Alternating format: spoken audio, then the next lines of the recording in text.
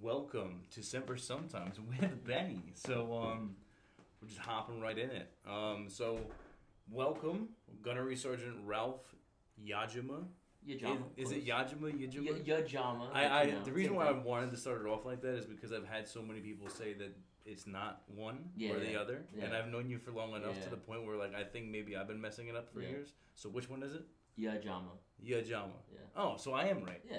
Okay, because people will be saying like that's not what his name is. I'm like, no, no, no, it is. I mean, everyone has a different variation of it. I I think am at the point where I don't even care. If I acknowledge, I think that's more than enough for me, right? It's like, oh, you've noticed me. Cool. Yeah, yeah, yeah. I'll take it. All right, whatever. Yeah. So um, I want to just first thank you for being the first 8412 that I've had on my podcast. Um, and I think it's awesome that you're the first one because I've had other people reach out and or say that we're gonna come on and then things come up because you guys have busy lives, you know. And um, I think it's awesome that you're the first person. Uh, it was supposed to Master Master Gunnery Sergeant Rudin was supposed to Oh. come on, um, but things got in the way, and then I don't know what happened, but now you're here, Yeah. which is more important. So, um, what I, what I really want to talk to you about before we even get into anything really is who is Ralph. That is a question. That is Mm. that is quite a question. Mm. Still trying to figure that out myself. uh, uh, who is Ralph? Um, I guess I was born and raised in the Bronx until I was 17. Moved back to New Jersey, uh, 18 with family, and then um, joined the Marine Corps a year later. Uh, then been in the Marine Corps now for 17 years, and um, I don't know. I'm still really trying to figure that out. That's that's kind of myself, you know. So yeah, you know, still, still trying to figure that. out. I guess uh, who am I? Uh, a Marine, a father, uh, a son. Um, you know, a Christian. Um, let's see what else. I like to still consider myself an athlete, Mhm. although you know sometimes I'm in a lot of pain. Uh, but you know, yeah, I, I think all those things kind of encompass uh, myself and, and who I am, Mhm. who I believe I am internally. I have no idea. I'm still trying to figure that out myself. I guess once I get out of the Marine Corps, right? Yeah. I'll figure out the next stage of my life on who do I become at that point in time. Mm.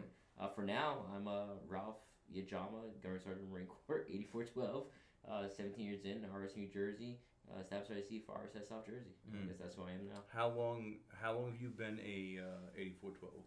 Well, how long have you been on recruiting duty? So, so I have split time, right? So, um, I was out here in 2009 and 2012.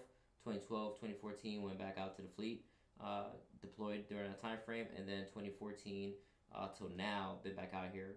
Uh, became an 8412 in 2017.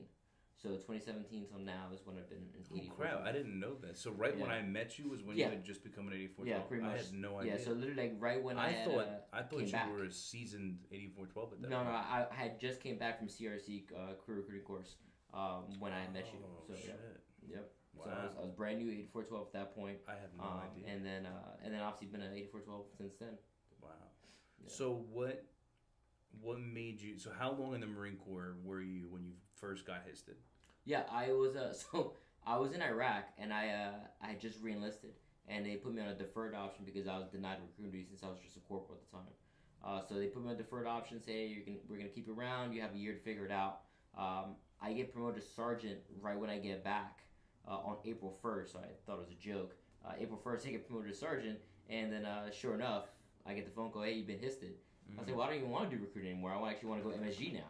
Oh, you know, at that time, I was, I was a single young lad. I was like, you know, I, I want to go MSG. I don't want to go recruiting. Um, so, uh, so yeah. So then they're like, yeah, now you're going recruiting, and then uh, here, I- here I am. so that was like my first. That was my first. The end. The tail end of my first enlistment. Um, and so where was that at? where I was at, I was in North Carolina. Okay. I was at the three uh, one eight. no, where? I'm sorry. Where were you recruiting? Where'd you go? Oh, recruiting? recruiting. Yeah. So once I get out here recruiting I came out to uh, Middlesex. Oh, so you came out here. Yeah. Then went back to the fleet and then requested to come back to Jersey. Yes. Yep. Oh, exactly. shit. Yeah, yeah, yeah. So I knew, I knew when I left, I wanted to be an eighty-four twelve. I just, I wanted to deploy. Mm-hmm. You know, I wanted to deploy. Um, you know, I, I didn't want to, I didn't want to stay and not be like, oh man, I wish I would have deployed. You know, um, so I wanted to go back. So that was like my biggest goal to go back, go deploy, and then come back afterwards, which is obviously what I did. Okay. So now I'm confused Mm. because so in the Middlesex office, Mhm. there's all those plaques Yeah, yeah. and your name's on a bunch of them. Yeah, yeah.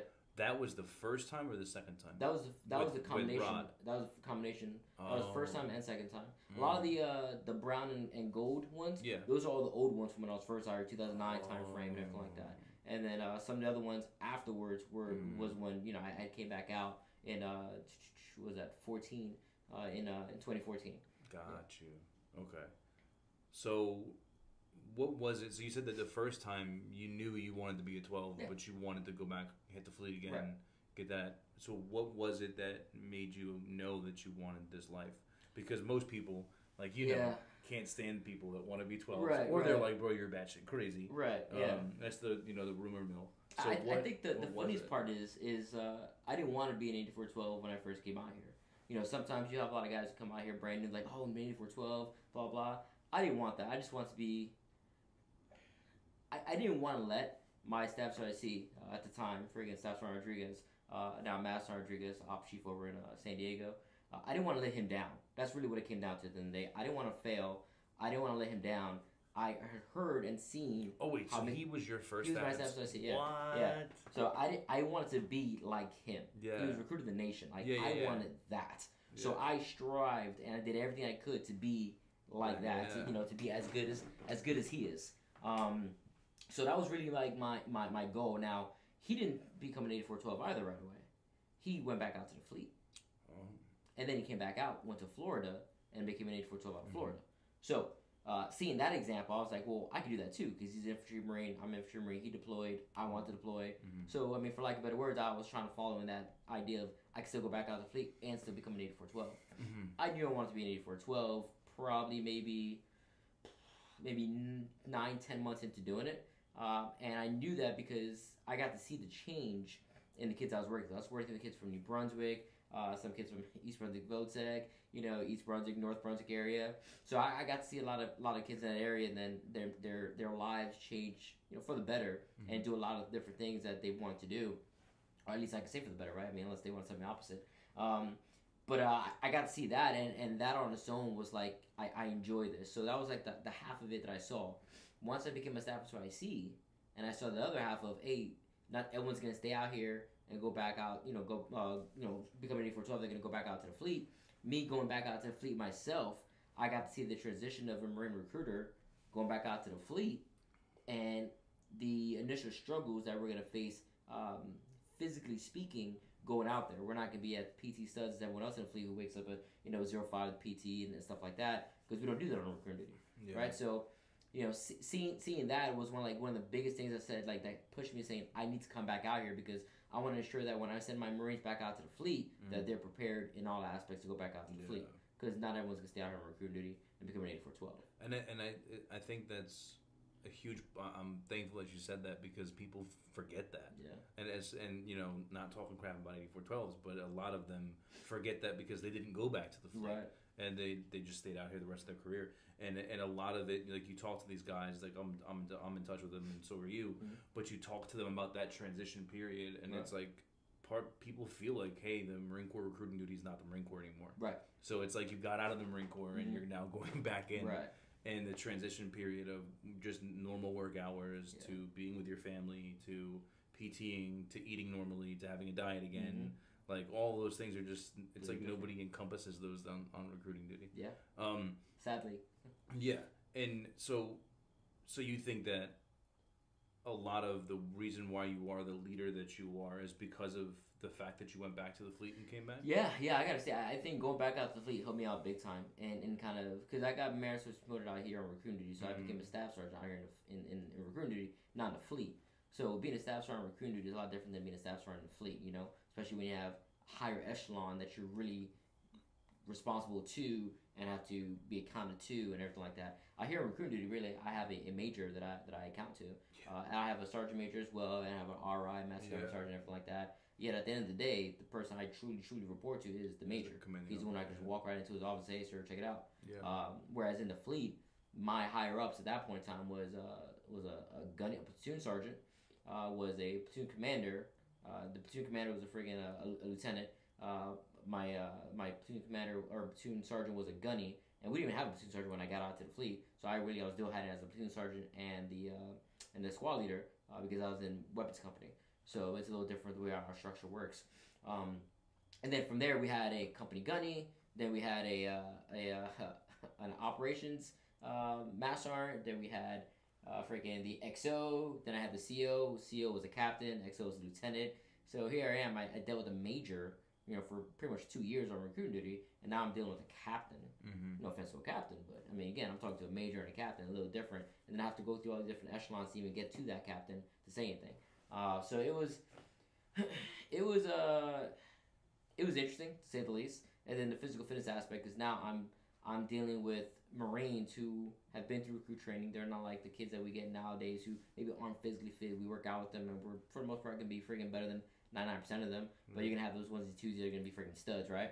Um, so now you have majority of the, the guys during your squad. They're they're not PT studs, but they're they're good. They've been working out daily, consistently, and everything like that. So now you're like behind the pack, but then you're the one who's supposed to be in charge.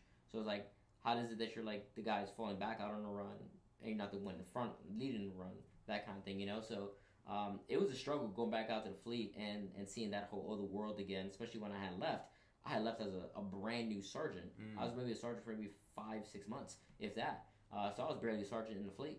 So uh, having an opportunity to go back out to the fleet uh, as a staff sergeant, run a squad, be responsible for all the different things, and and uh, do all that, I, I think it was huge because it really showed me what leadership was uh, when it came to being in charge of 12, 13 Marines, not poolees, because poolees have their families that are still responsible for them. Yeah. I'm not responsible for this.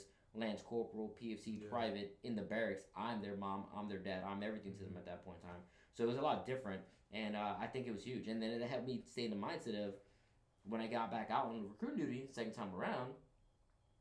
What was the difference? There was no difference. It was still the fleet. I was just on on recruiting duty. I'm, what, what is the difference? I'm just on a long ass deployment. That's that's all it is. You know, it's just a long ass deployment. I'm always gone. I'm always out. There's always an attack. There's always something going on. I'm always preparing for something. Whereas in the fleet, you have the downtime Yeah. right? You're already training for a workup. You go deploy. You come back. You relax a little bit. You're not going all crazy, and then boom, you get ready to freaking work up again, and now you deploy again, and you have that cycle. Out here in recruiting, there there is no there's no downtime. Yeah. Um, quote unquote, no downtime. There Mhm. should be downtime, and that's where knowing what I know now from fleet, I'm taking over here. I, I believe has helped me to be more successful. Had I not gone back out to the fleet, I don't know what I could have done or, Yeah. or where I would have been.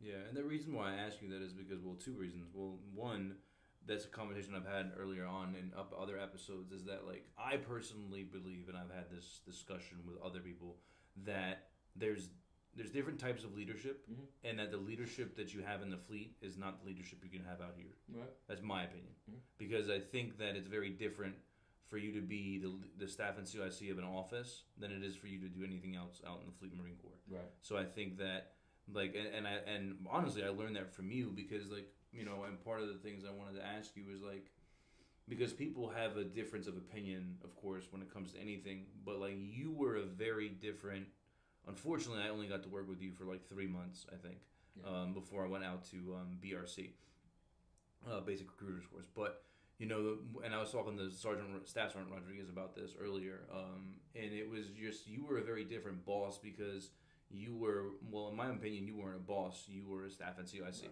you know there's bosses and then there's Yeah. staff and CICs Exactly. um, and the thing is is that the way that you just portrayed yourself was like if you were in the office we were in the office. Right. if we were in the office you were in the office. Like i don't remember there ever being a time where you weren't in the office. Right. and like and and it was also just the way of like the the accountability piece. Like i remember you know like when we first got out there and i was just I was an ead or i wasn't even a recruiter yet i hadn't even gone to school yet.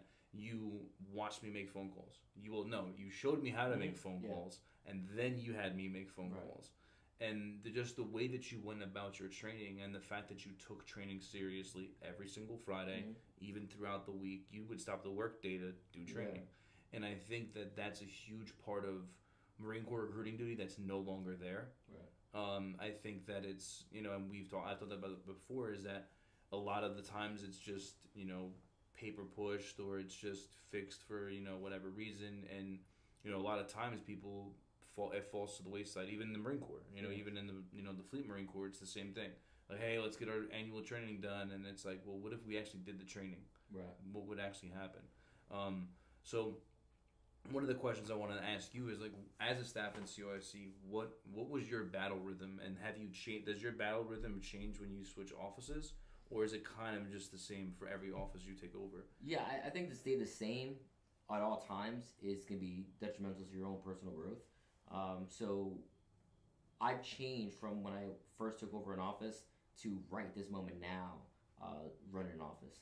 And I think a lot of that changed due to you know my experience with MEPS, uh, my experience uh, being a being the OSA officer selection assistant, um, doing those different things and having different stations that I ran, going over to Portland, uh, things they do out there in Portland slightly different than the way they do things here in Jersey Mm-hmm. before, completely different from how they do things in Jersey now. How Jersey is now is completely different how Jersey was before. Uh, so if you're not changing or adapting with the times or adapting what's going on, then you're, you're gonna stay stagnant. You're gonna stay behind, and you're never gonna improve. So uh, my battle rhythm has has kind of changed depending on the flow, the Marines that I have, the mission, and the AO and what's going on. Um, one thing I've added that I didn't have added before was personal life, uh, because before recruiting was it. That was that was that was there was nothing else. Like you mentioned, like I was always in your office, I was there, there, blah blah blah, all that, all that was great. However, all that came at a price. It came at a price. At home was neglected. At home was was pushed aside. At home, you know, decisions were being made that shouldn't have been made because I didn't have a focus on those things. My focus was taking care of the Marines and then taking care of the mission, and that was it. And taking care of the poolees, you know, being there for the poolees, answering calls no matter what's going on. That was always like the number one priority. Um, so a little bit of that has changed now to where like I'm starting to say, all right, cool. Well, I need to take care of myself. I'm gonna go to the gym because before I got fat and nasty and I didn't work out like I used to. Uh, and then sometimes uniform wouldn't fit, and a lot of times you see Marines don't want to put their uniform on because they don't look good in a uniform because they look nasty and stuff like that. Uh, so trying to get back into that Marine Corps concept of like I should be working out. There's 24 hours in a day, right? I need maybe about five, six hours of sleep, uh, and then from there, the rest of the time, I can work out and then I can do my job. Yeah. Um, as a staff, I see we have a lot of responsibilities, but there are a lot of things that that are timed out. So if I do them at the right time or in advance, then I'll never get behind on it as long as I know exactly what it is I need to do, right? Yeah. So, so I found like you know, uh, like my morning meetings have differed, have changed depending on who the marine is, depends on how intense the the the, the morning meeting is, um, to the the daily you know check-ins and everything like that. Uh, sometimes there'll be times where I just I won't bother anyone. I'll just let them go go do their thing. Because I can remember times when I was out there, you know, as I like to call it, operating, uh, and I'm out there, you know, doing my thing, and uh, and I'm getting a phone call, hey, what's going on with this and the other? And I'm like, oh, you know, just doing this, that, and the other. Uh, nothing, nothing yet. And then I can remember as staff so I see asking the Marines, hey, what you got for tomorrow? What are you up to? Blah blah blah. And like nothing yet, nothing yet. So like I don't want to constantly every hour or every thirty minutes to get bad news Bro. because it's gonna get annoying, right? Dude, Yeah, so it was like, so, so I'll, I'll kind of I'll let it go for a little bit, and I know it's like, oh no, you need to be following up with them every minute, every hour, blah blah blah, and I get that completely. But there's a time and place for that. That that I don't think that should be an everyday kind of Yeah. thing. That should be dependent on situation and what's going on with that marine. Yeah, situation dictates. Exactly, and you'll know throughout the day or in the morning time what's going on with that marine Yeah. throughout the day, right? And it, so, and it's also the fact that it, some people that works with and some people that doesn't. Right. Like when you do that with some with some people, they're like they're shut off. Yeah. They're like, bro, I'm Yeah. done. I'm done with you, man. It doesn't even matter that I have nothing. It doesn't even matter that I attempted to get something because you're gonna call me when I tell you I have nothing. And I think that, and I was saying this on another episode at some point, but you know, I found myself in that same way because I remember, you know, I had you know a boss and um, he would be like that. There would be days where like when the command members were in the office, Mhm. he'd be all over me. yeah, But when the command members weren't in the office, he was Yeah. never over me. Yeah. And and those were the days where I would hate getting phone calls every hour on the hour, and it's like, dude, it just took me twenty minutes just to drive to this point, and you're not even, you know. Yeah. And I and I think that's the dog and pony show, of course. Yeah. what it's trying to show. But I think it's also, but there's some people who actually operate like that Right. on a on an everyday basis. Yeah.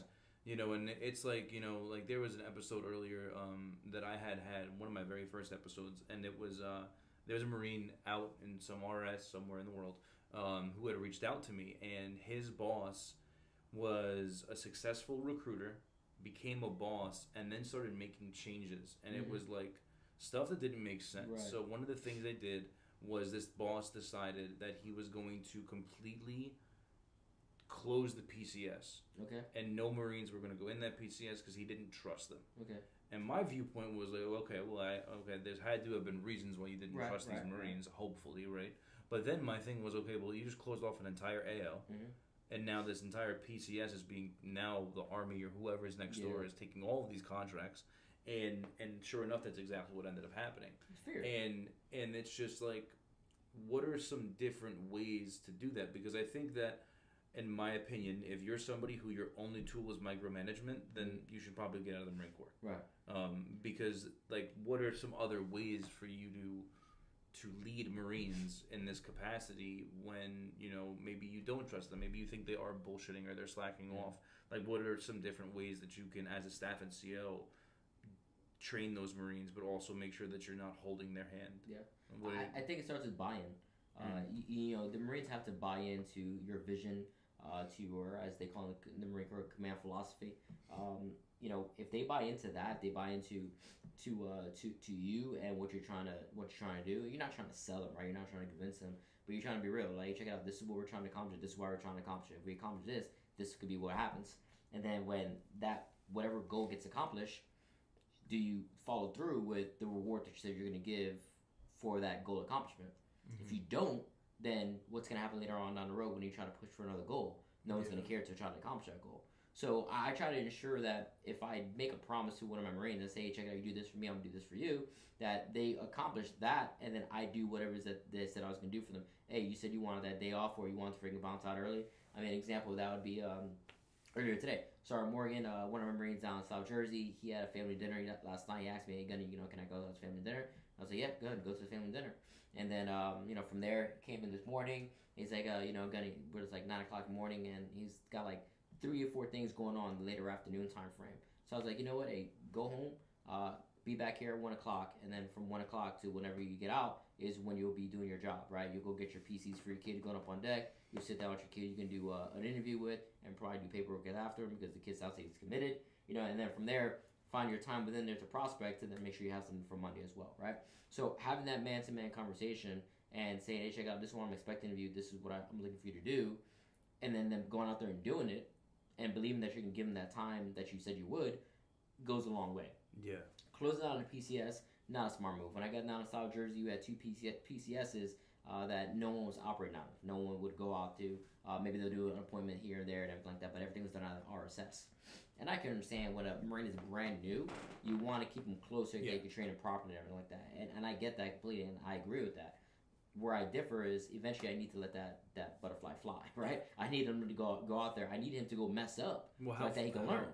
how far was the, is the pcs Well, both PCSs are maybe like 15, 20 minutes Okay. away. but So there's some far. but in this place the, the pcs was an hour away Yeah, I and mean, it was like and that was the thing is like i feel like a huge part of the marine corps especially again i've only been in new jersey but from the conversations that i've had Yeah, with yeah. people even before i did the podcast it's like bro we have a pcs we don't even use yeah, and it's yeah. like why are you driving 45 minutes out of your way when you could just be staying there hey do a, especially now with zoom and skype Right. and all these things morning meetings bro do what you got to do if i have to meet with your kids i'm going to meet with your kids right, but like, because for me, and I'm and I'm pretty sure I just got this from you and and Master Diaz, but like every single kid that was ever ever an appointment, I spoke to. Right. Every interview I spoke to.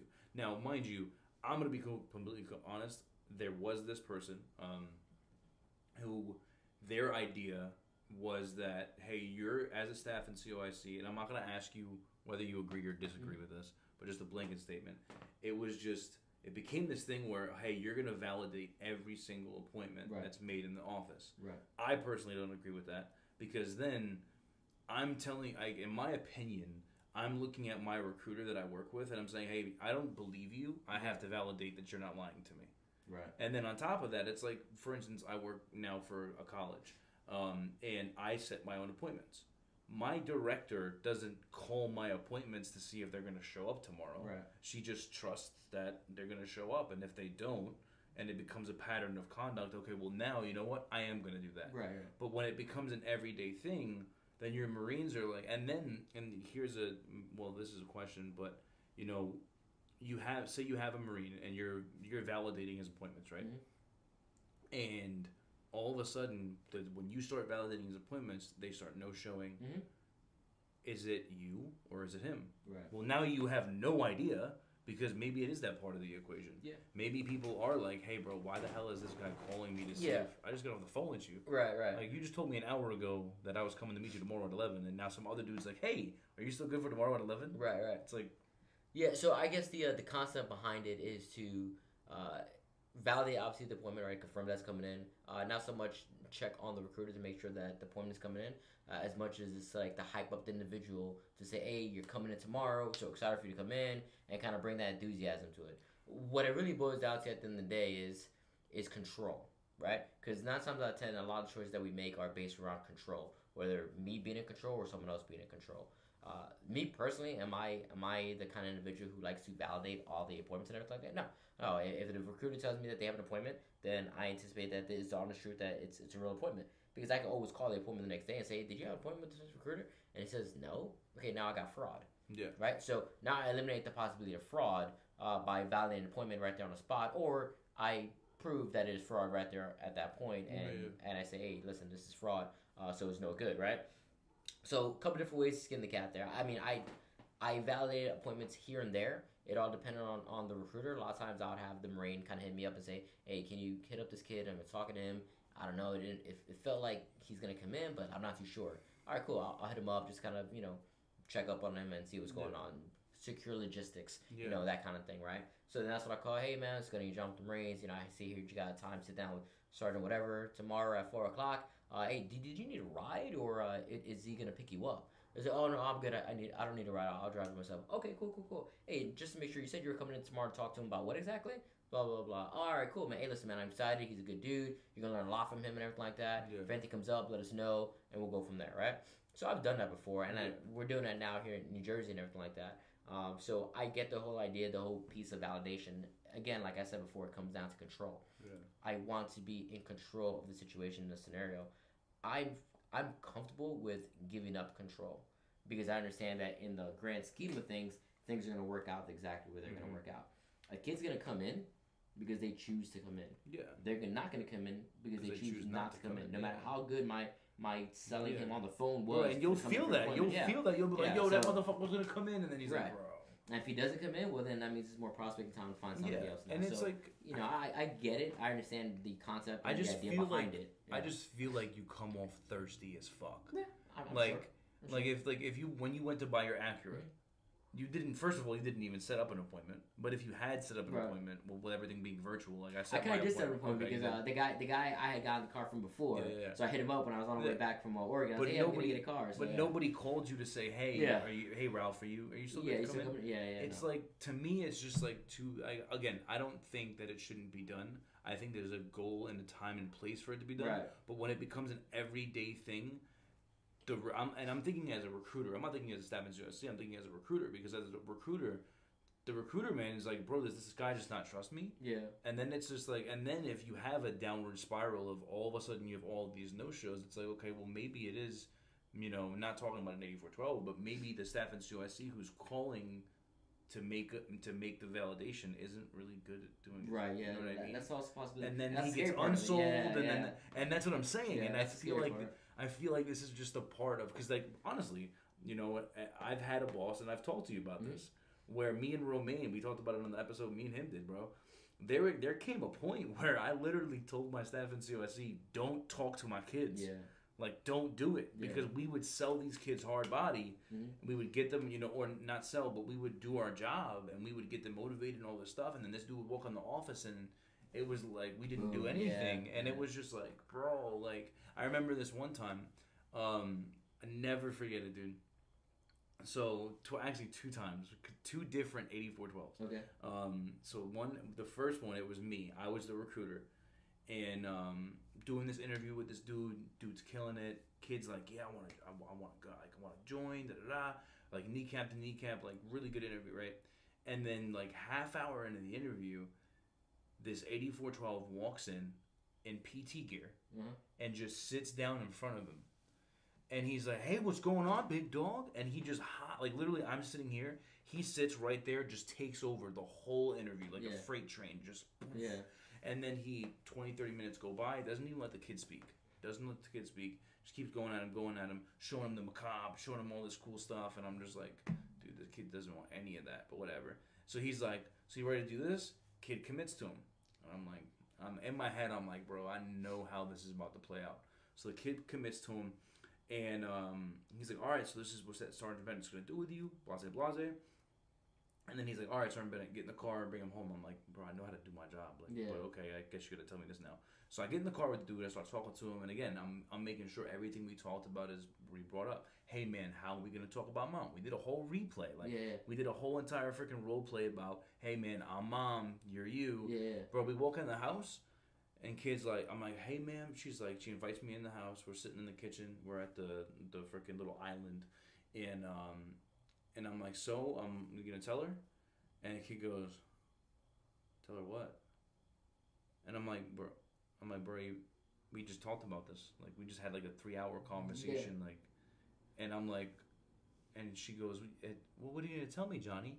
And that was literally Johnny. Yeah. And uh, he goes, nah, nah, nah, I don't really have anything to say. And I'm like, I'm like, this didn't happen. I'm Yeah, like, this is not happening right now, Yeah. man. And his mom's like, so what did he have to say? And I was like, well, you know, three and a half hours ago, like we've been talking about him becoming a marine. She goes, no, no, no, no, no, no, no, that's not gonna happen. We're gonna actually have to talk about this, this, and the third. And long story short, we go out to the car, and um, I go back to head out, and Dad comes up to me, and he's like, listen, man. Dad was from Ireland, and Dad's just like you know thick accent, and his dad straight out was like, "Listen, I'm all for it." He's like, but it just seems like my son's not. And he's like, I don't know what happened. He's like, maybe mom made him nervous. But he was like, you know, I'm gonna talk to him about it. He's like, I would love for him to join, but you know, I'm gonna, I'm not gonna push him. But if he comes back, he comes back. right. I was like, sir, that's all I want. I was like, and I apologize because we literally just had this conversation in the car before we pulled up. I don't know what happened. So whatever. So I get in the car. I'm in the car. I'm bugging out. The staff NCOIC calls Yeah. me. Yo, did you get PCs? I'm like, no. He's like, what do you mean?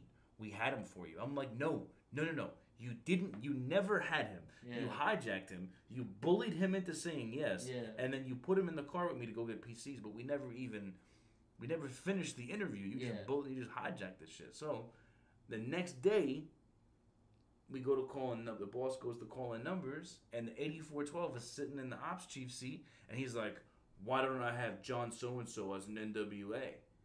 And um, and he's like, "Oh, so you freaking lost it." He's like, "I gave you a goddamn contract." I'm like, "No, that's not what happened, bro." Yeah. And the, the, then now it was my fault. Right, and I'm like, bro. Then there's this other time with another 8412, and he walks in the office. This time I'm the staff NCOIC. Okay. And my recruiter comes up to me and he goes, Staff Sergeant. He goes, please don't let him talk to my kid. He's like, I'm telling you right now, I have a great feeling about this kid, but this kid, if he talks to my kid, I'm gonna lose him. So I literally go up to the gunny and I'm like, Gun- Gunny, Gunny. I'm, and I'm boys with this Yeah, dude. yeah, yeah. I'm like, Gunny, can you do me a favor? He's like, what, Bennett? I'm like, can you just not talk to this kid? He's like, what do you mean? He's like, what? You think I'm gonna have a full on conversation with this kid, hijack the interview? He goes, I'm not that guy. He knew it. He's like, I'm not that guy. So I'm just like, I'm like, Gunny, can you just not? I was like, can you just maybe do an IOF, do, or not an IOF, but yeah. Yeah. yeah I was like, can you just do an, I- you know, do an IOF on him from the backside? Like, Yeah, don't yeah, hop, just, just leave him alone. I was like, he doesn't need your help, just please, dude. First benefit tag, dude runs in. So, brother, I'm like, dude, and literally, my recruiter comes into my office, closes the door. He's like, hey man, I'm gonna, I'll be right back. I'm gonna get some water.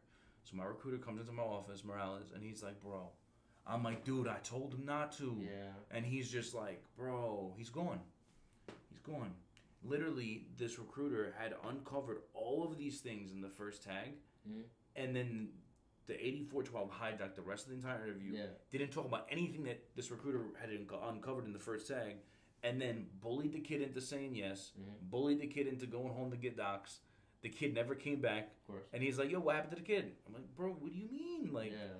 and it's like it's just like bro like my my thing is is that i feel like a lot of it is that like i don't know where i was going with it with either of those two stories No. I, but I, I, see i feel like i feel like a lot of it is just we we get to a point as a staff NCOIC, i can't say as an 8412 because i'm not one but i feel like we get to a point where it's like hey i know what the fuck i'm doing and you need to listen to me And Yeah. it's like, but dude, he so does he. He's been on the streets for a year. He knows his kids that he talks to. He knows where to go at point two and three. Right. And if he doesn't ask for your help, then why are you jumping in the conversation?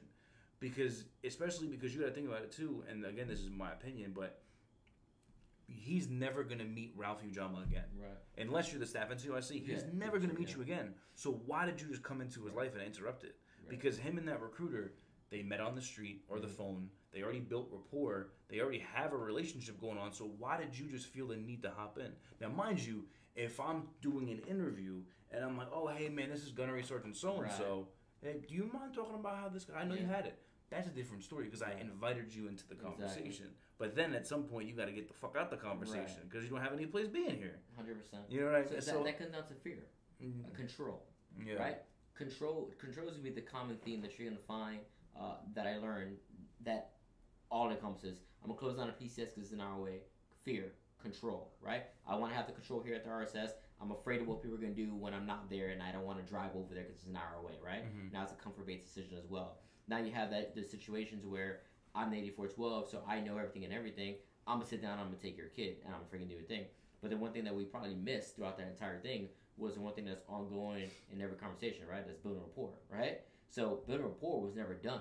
So I'm gonna jump in, I'm gonna hijack your interview, but I never built the rapport with the kid for them to be trustworthy of me to be able to be open with me and actually be honest with me, right? So I agree. For me, and and um, the way I always do when it comes to interviews, I don't hijack an interview, no matter how bad the interview's going. Uh, you're gonna crash or fail. You're gonna crash or fail. I'll help you after it's done, and I'll figure out how to salvage it after it's done, right? But I'm not gonna hijack your interview as you're in the middle of the interview because there's certain things that have happened in that conversation prior to that I don't know about, Mhm. right? So the way I do it is I just say, hey, if you want to tag me into your interview, just let me like call, call me out. It's like, hey, Gunny John, you mentioned blah blah blah. Can you talk to Johnny blah blah blah? Yeah, sure thing. Hey Johnny, yeah man. So blah blah blah. I'll do my thing. Like, all right, cool. You got any questions? All right, listen. Well, I'm right over here, man. If you guys have any any other questions, let me know. And then boom, I forget. I, I exit stage right, right. Mhm. That's always the way I've done it because for me, that's how Master Rodriguez did it as well. He would come in, he'd be there. I'd look back at him. It's like a staff sergeant, and then he'd freaking come in, jump in, say his thing. Boom, he'd freaking bounce, just like that. So I was like, all right, cool. That's just the way I knew it, how to how to do it, and that's the only way for me it made sense. Again, like I said, I'm I'm not gonna hijack someone's interview because it's I don't care about the control Mhm. because I'm confident in my abilities afterwards, Mhm. after everything's said and done, to really kind of figure out what's going on. And then you had mentioned earlier, you know, about um, I can't remember exactly what the, the word which you used was, but uh, like a salesman, right? Like car Yeah. salesman, like like you freaking uh, like uh, oh, I'm sorry, like bullying. It's like bullying, yeah, bullying the kid to commit. I don't want to bully a kid to commit because I don't want to seem desperate, right? I don't Mhm. to seem like I need you. I don't need you to join the Marine Corps. Yeah, I want you to join if that's what you want. Yeah. If you don't want that, then that's that's you. But we can figure it out. Yeah. You'll come back later on down the road when you realize that everything I was saying to you was actually a freaking good idea for you and it was gonna help you become successful. Yeah. But that's on you to figure out. That's on you to, to kind of go through that hard life of pain and everything like that, right? So for me, that's what helped me be successful because then when I was a recruiter and I had an interview with the kid, I wouldn't just, all right, cool, he's done with. I'd follow up with the kid. Hey Yeah. man, what's going on? Did you actually get that job that you said you were going to try to get, or did you actually go here? Did you do this, that, and the other? Whatever it is that they sp- sat down and spoke to me and said, "This is the reason why I can't do this right now." I was like, "All right, cool, go ahead, go figure that out." Yeah. When that fails, that's fine. But I knew I was still going to write my contract for that month because I had someone for the month prior Yeah. who I had interviewed who was like, "Hey, I just need some time to think about it." All right, cool. I followed them, stayed in contact with them, and then boom, now they're freaking ready to do it, and now I got them back. I can't name you like I have so many kids that I had spoken to once, and then they came back later on down the road, Yeah. right? Because I knew it was the long term game. Yeah. Yeah, I know I need the contract in month, Yeah, but yeah. that in contract in month was from the previous month interviews. That's why interviews are so important, right? Yeah. So, so I think that's a huge part that people forget is the follow up. huge. Like even with my new job, dude. Even with my new job, bro. I have so many people that I've gotten to enroll yeah, just off of a follow up that I didn't even. I never made the first phone call, right. and I just hit people up, and I'm like, and I'll see it in the like the way our system works is it's like ten thousand times better than Chris, but it um you pull up the lead card, you click the phone number, it's a hyperlink, Okay. and then you text it from their lead card page. Okay. and then the the text never go away. So I'll just look up real quick, and it'll, it'll be like Ralph, you know Ralph, and it'll say like, "Oh, do you want information?" And then Ralph said yes, Okay. but then no one called him. Right. No right. one called him to hit him up. So now I'm just looking for those, and I'm hitting Yeah. them up like, "Hey, listen, man, I, see that you no one ever called you. What happened?" He's like, "I don't know. I'm really interested." And this is like three, four months ago. and I'm like, "Well, hey, man, we actually have a class starting tomorrow, or I'll be like next week or whatever." And then I get the kid to join, you know, enroll. And literally, my boss and the top salesman came up to me and they were like, "Bro, your follow up is sick." Yeah. And I was just like, "Why isn't yours?" Yeah, I know, Like, right? Or like, these don't are have all- a good one. Yeah, like, me. yeah, you know I'm like. I'm good, man. I'm good Like. Because literally, I don't do any of the lit Yeah. work. I'm just following up people you never followed up with. Right. Like there was this one girl that um she kept like she'd be like, oh, I'm interested, and then she'd fall off, and then oh, I'm interested. So I literally followed up with her like since I started in May up until now. And my boss, one of the one of the other supervisors, was like, "Why do you keep doing that?" And I'm like, "Well, she keeps saying she's interested, but clearly there's other things going on that's stopping her from being." Right. And I'm like, and she keeps hitting me up. So I was like, "What's a two minute phone call for me Yeah, to just be like, hey, how are you?" Because Yeah. eventually, maybe she is gonna do it Right. and you know and that's the thing is i think the art of the follow-up is just lost with everybody and even even especially in, on recruiting duty Yeah. because how many con like, i don't know how and i've been i've been victim to it Mhm. you know because i don't know how many times like there'd be a kid that I, could, I forgot to hit back up and then Durkee would come in with him and i'd be like yo i know that kid and he'd be Yeah. like like dude mccann robbie Okay. mccann he is a kid that i ac'd got his pack card put it in my pocket it was me and arana i ac'd him and then a year later, Romaine brings him in the office, Pete, like ready to sign. Now he's in the Marine Corps. He's a corporal. Yeah. And he literally came up to me. He was like, "Bro, you should have been my recruiter." Yeah. He's like, "You met me. You talked to me. You talked Yeah. about the Marine Corps, and you never called me back, Yeah. bro." And I was like, "I can't imagine how many people I've just never called It happens back." all the time. yeah, It happens all the time, and that's that's one of the things that that uh, once a, a Marine figures out on recruiting duty, that's when they hit that next level. So like Mhm. you know, we all know this, right? You're well, we you know for the most part, uh, the first year is just you hustling. Yeah. That's you trying to talk to every single person. and that's the problem. To, right? People But don't one wants to do that. understand that. Nobody Yeah, wants nobody to wants to fucking do do that, bro. But then now you get that kid, right? Nobody wants now to you follow that. up with them, And the and thing guess is, what? like, He comes back a year Yeah, and that's the thing is people tell you that shit in BRC. They're like, bro, the first year, and everyone's like, yeah, bro, I don't want to work that long. It's like, bro, but if you do, Yeah. if you really it pays, do, it pays everything off. it really does. Your 2nd your third year, you're not doing shit. You got people bringing kids in because you met those sophomores and those juniors, and then those kids who became grads who their plan didn't work out, and then they're just coming back to you. Exactly. While you're, you know, and you're getting in month contracts. Well, they're, well, they're now you're in month, Right. and then you get this bag, Right. which you know some people never get to have. Um, but I think that a lot of it is just that. Yeah, um, so here's here's a question for you. I don't know if you've ever dealt with this, but um, so there's a a, fr- um, a guy that I've been going back and forth with. Uh, he's a he's a 8411 staff NCOIC. I don't know where, but he essentially right now what's going on with him is he just became a staff in CIC. He's like a month like four or five in, and two of one of his recruiters now has to see um, mental health. Okay. So now every day it's like two or three times a week, and then he has a recruiter who um, who didn't not didn't get a DUI but got in trouble for out like is seeking counseling for alcoholism. Okay. So he has two of his recruiters down. They have all, of, but now they're still in the fight. They're still working with them. How do you run an office effectively with things like that going on? Yeah, well, you don't. You don't. You can't run an office effectively like that. I mean, Mhm. again, if you're looking for effective, then then the answer is no. You're not going to be able to run it effective because you're down the manpower that's needed, right? Um, that's like how do you throw out a baseball team if you only have five players on the team? Well, there's three other positions that can't be fielded. So is your team going to be effective? No. Every other five, the five other players can be all the greatest players in baseball, but you Mm. still have three spots on the field that need to be filled, right? So you're never gonna have, you're never gonna be the most effective team that you can be. Now, what you're going to try to do, or what you can try to do, is make the most of what you have, right? Yeah. Because that's what Marines have done all throughout Yeah. time. We, whatever shitty situation we've been thrown into, we adapt and overcome within that situation. So, uh, still, would his goal or should his goal be to accomplish the mission? Absolutely. There's no question about that. Is he going to have a lot of things going against him to accomplish that mission? Yeah, for sure. Two gap sectors, you know, for the most part, Yeah. slightly gap sectors, right? If the guys are in the office or out of the office, stuff like that. The biggest thing for him to do is take his Marines that he has in the fight and then work those Marines effectively, not overwork them. That's what I was going to ask you. Is because I feel Yeah. like that happens. Is people think like, oh, we're killing it, we're killing it, but then you never let your foot off the gas. You never relax. You never give them the time they need, and Right. then they get overworked, and then they're like, bro, where's the end of the tunnel? Yeah, but see that that control is what the individual has that FCC has for them, right? So they can control. Hey, listen, tomorrow, hey, come in tomorrow at 9.30, come in tomorrow at 10 o'clock, right? I can control that and still have the Marine work throughout the day. Or as I see that Marine working throughout the day and he has appointments for the next day, hey man, what else you got going on today? You got this, that, and the other? All right, do this, man. Freaking close it all yourself, make sure everything's good, and then go to bounce out. All right, see you tomorrow. Like, you, as a staff see you control that, mm-hmm. right? And if you control it in a positive way, not a negative way, as far as you can make fear based decisions, or you're gonna stay here all night long till you freaking find something tomorrow that's that's awesome, right? I mean, we've all been there, right? We've all yeah. had the AC at freaking eleven o'clock at night, twelve o'clock at night, one o'clock in the morning, and, and, yeah, it's great. Maybe every now and then you actually find a kid, and and it actually does work out. I don't remember any freaking single kid that has ever been found at that time that actually committed and actually joined the Marine Corps. I can't remember one. Maybe someone has one. That's fucking great for them. But I've never seen one happen, right? So what that becomes is just a punishment for you not doing your job. So now we look at all right, well, why didn't they do their job between you know let's say nine, really ten o'clock, right? Uh, ten o'clock and six o'clock, right? Nine from from ten to six. Why didn't you do your job between that time frame? Well, that becomes an individual based decision. Well, mm-hmm. why didn't I, as a recruiter, do what I need to do throughout that time frame? Or did I make the attempts? Did I have the effort? And things just didn't pan out. Well, shit, it's recruit duty. It's not going to work every single day.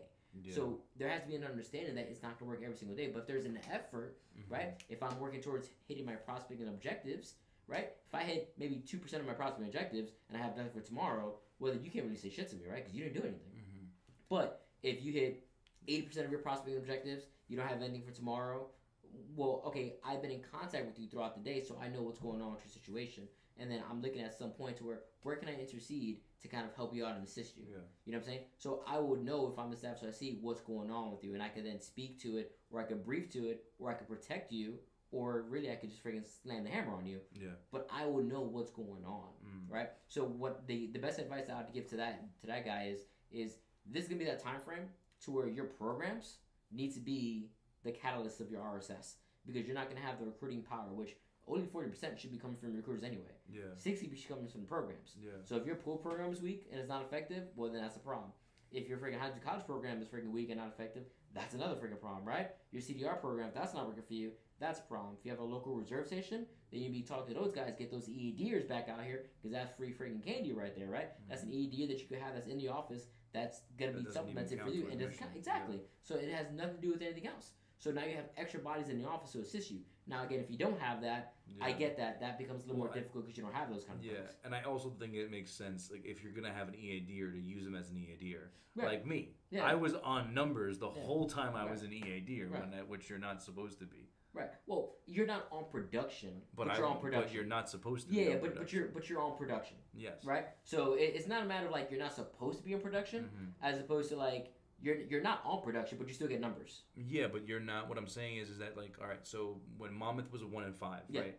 I was a fifth. I was a recruiter. Right. Realistically, Monmouth was a one in, was a, it was a one in five, but only four recruiters. Correct. Because an EAD, the EAD does not count yeah, as manpower. Right. Yep.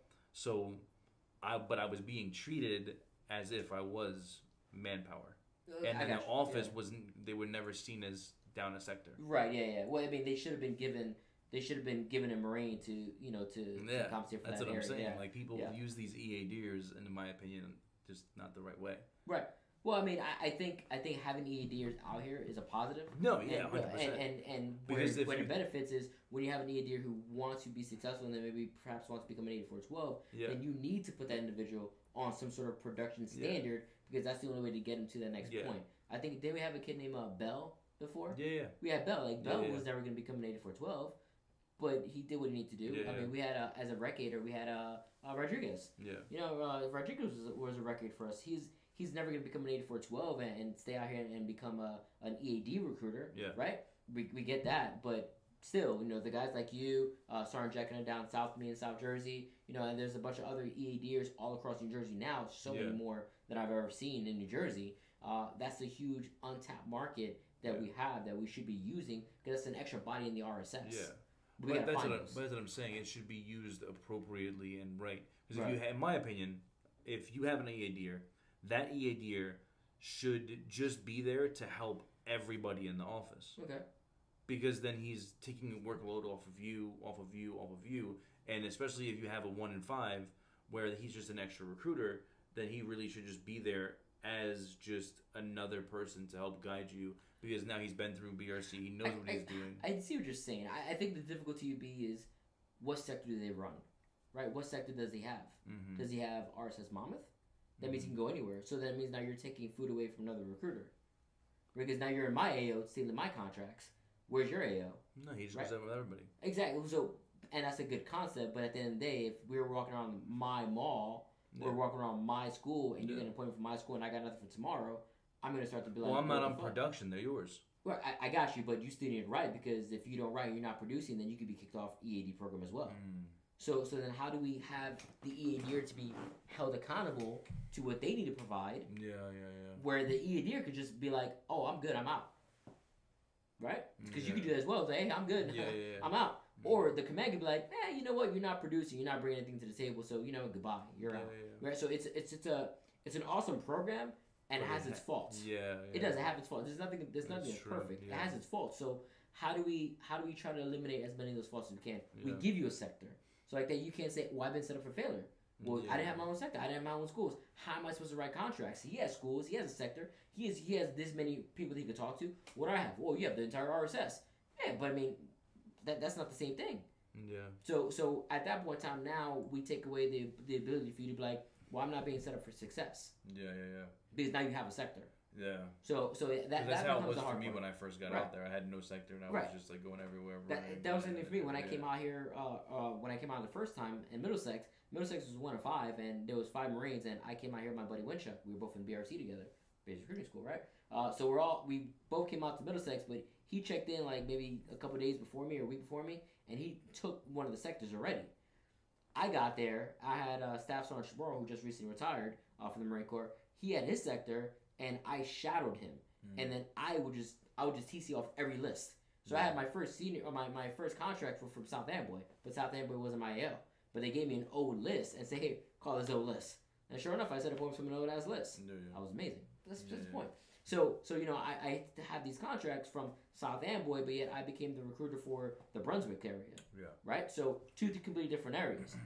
Was it difficult? Yeah, it was because I didn't have a school, but I was fortunate that I didn't remain uh, um, ungapped recruiter for a long Mm-hmm. period of time. I think maybe it was maybe two, three weeks, maybe a month, if that. And basically, all I did was I'd go around with all the recruiters. That's where me and Staff Sergeant Williams we got so close because Oh. I'd roll with him.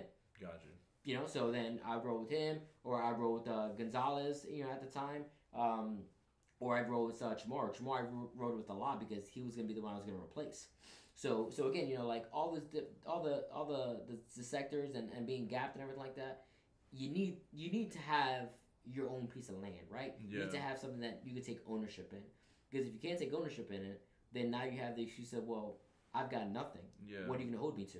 That's true. Yeah. So so I think now again that's between the staff RIC Yeah. and that Marine to have those conversations and kind of get those things figured out. Yeah. Hey man, you got all the non-working schools. Okay, cool. So now I know as the the EAD in the office, as the sixth man in the one and five, I have all the non-working schools. So that's my sector. My sector are all the non-working schools. I can then go in Chris. I can change everything to their name. Now they have the ability to freaking work their non-working schools. Mhm. Still gonna be a smaller percentage of what the everyone else has, at least it's something, right? It's something Yeah. you can find, you can take ownership in and say, all right, cool, I'm breaking this, I'm doing this. Yeah. So I, I think that becomes the uh, the big conversation, and like I said before, the buy-in Yeah, to have with that marine of, hey, check it out, this is what's going on. Because this is a situation I'm gonna be running here real soon with Sergeant Jack Anetta, um, and I have two brand new Marines that are gonna be coming into RSS South Jersey, yeah. Yeah. and Sergeant Jack is the ADR. Yeah. So clearly that Marine is gonna be taking that sector because he's an ADR. Yeah. So he asked me, he was like, well, Gunny, what am I gonna do? I was like, listen, I'll figure that out when we get to that point. For now, you keep doing what you're doing right now. I'm gonna take care of you when we get to that point. Just trust me. Yeah. And I built enough rapport with him that he can trust me and say, "Got it, I trust that you're not gonna screw me over. You can take care of me, right?" So now I have to figure that out, which it's gonna get figured out. It it's a it's a later on problem, Yeah, right? yeah, It's not a problem that I need to deal with right now. It's not the closest fire that I need to put out, right? Yeah. So it's a fire that I see the miles away. All right, cool. There's gonna be an issue coming down. Yeah, yeah. But what's going on right now? Well, right now is mission, right? I need to figure that part out. I need to make sure that the Marines are going to schools and doing everything they need to do, blah, blah, all that stuff, right? So that's my biggest priority. That's my big concern. That's why I tell him, hey, this is what's most important to me right now and why. When we get to that point, it's more likely to be ironed out. You're probably gonna get pulled away, and be a staff RC somewhere. you know what I'm saying? So, so it might not even be a problem that we even have to deal with. So why Yeah. bother? Why Why, why give ourselves anxiety about Yeah, it yeah, now? You know. Uh, so so I, I think that's uh that's one of the things like you know again talking about your your the, the guy that you're talking about who's got all these issues in his office. Uh, he's gonna drive himself crazy trying to overthink certain problems. If he just keeps it simple, go to your programs and make your programs as most effective as you can.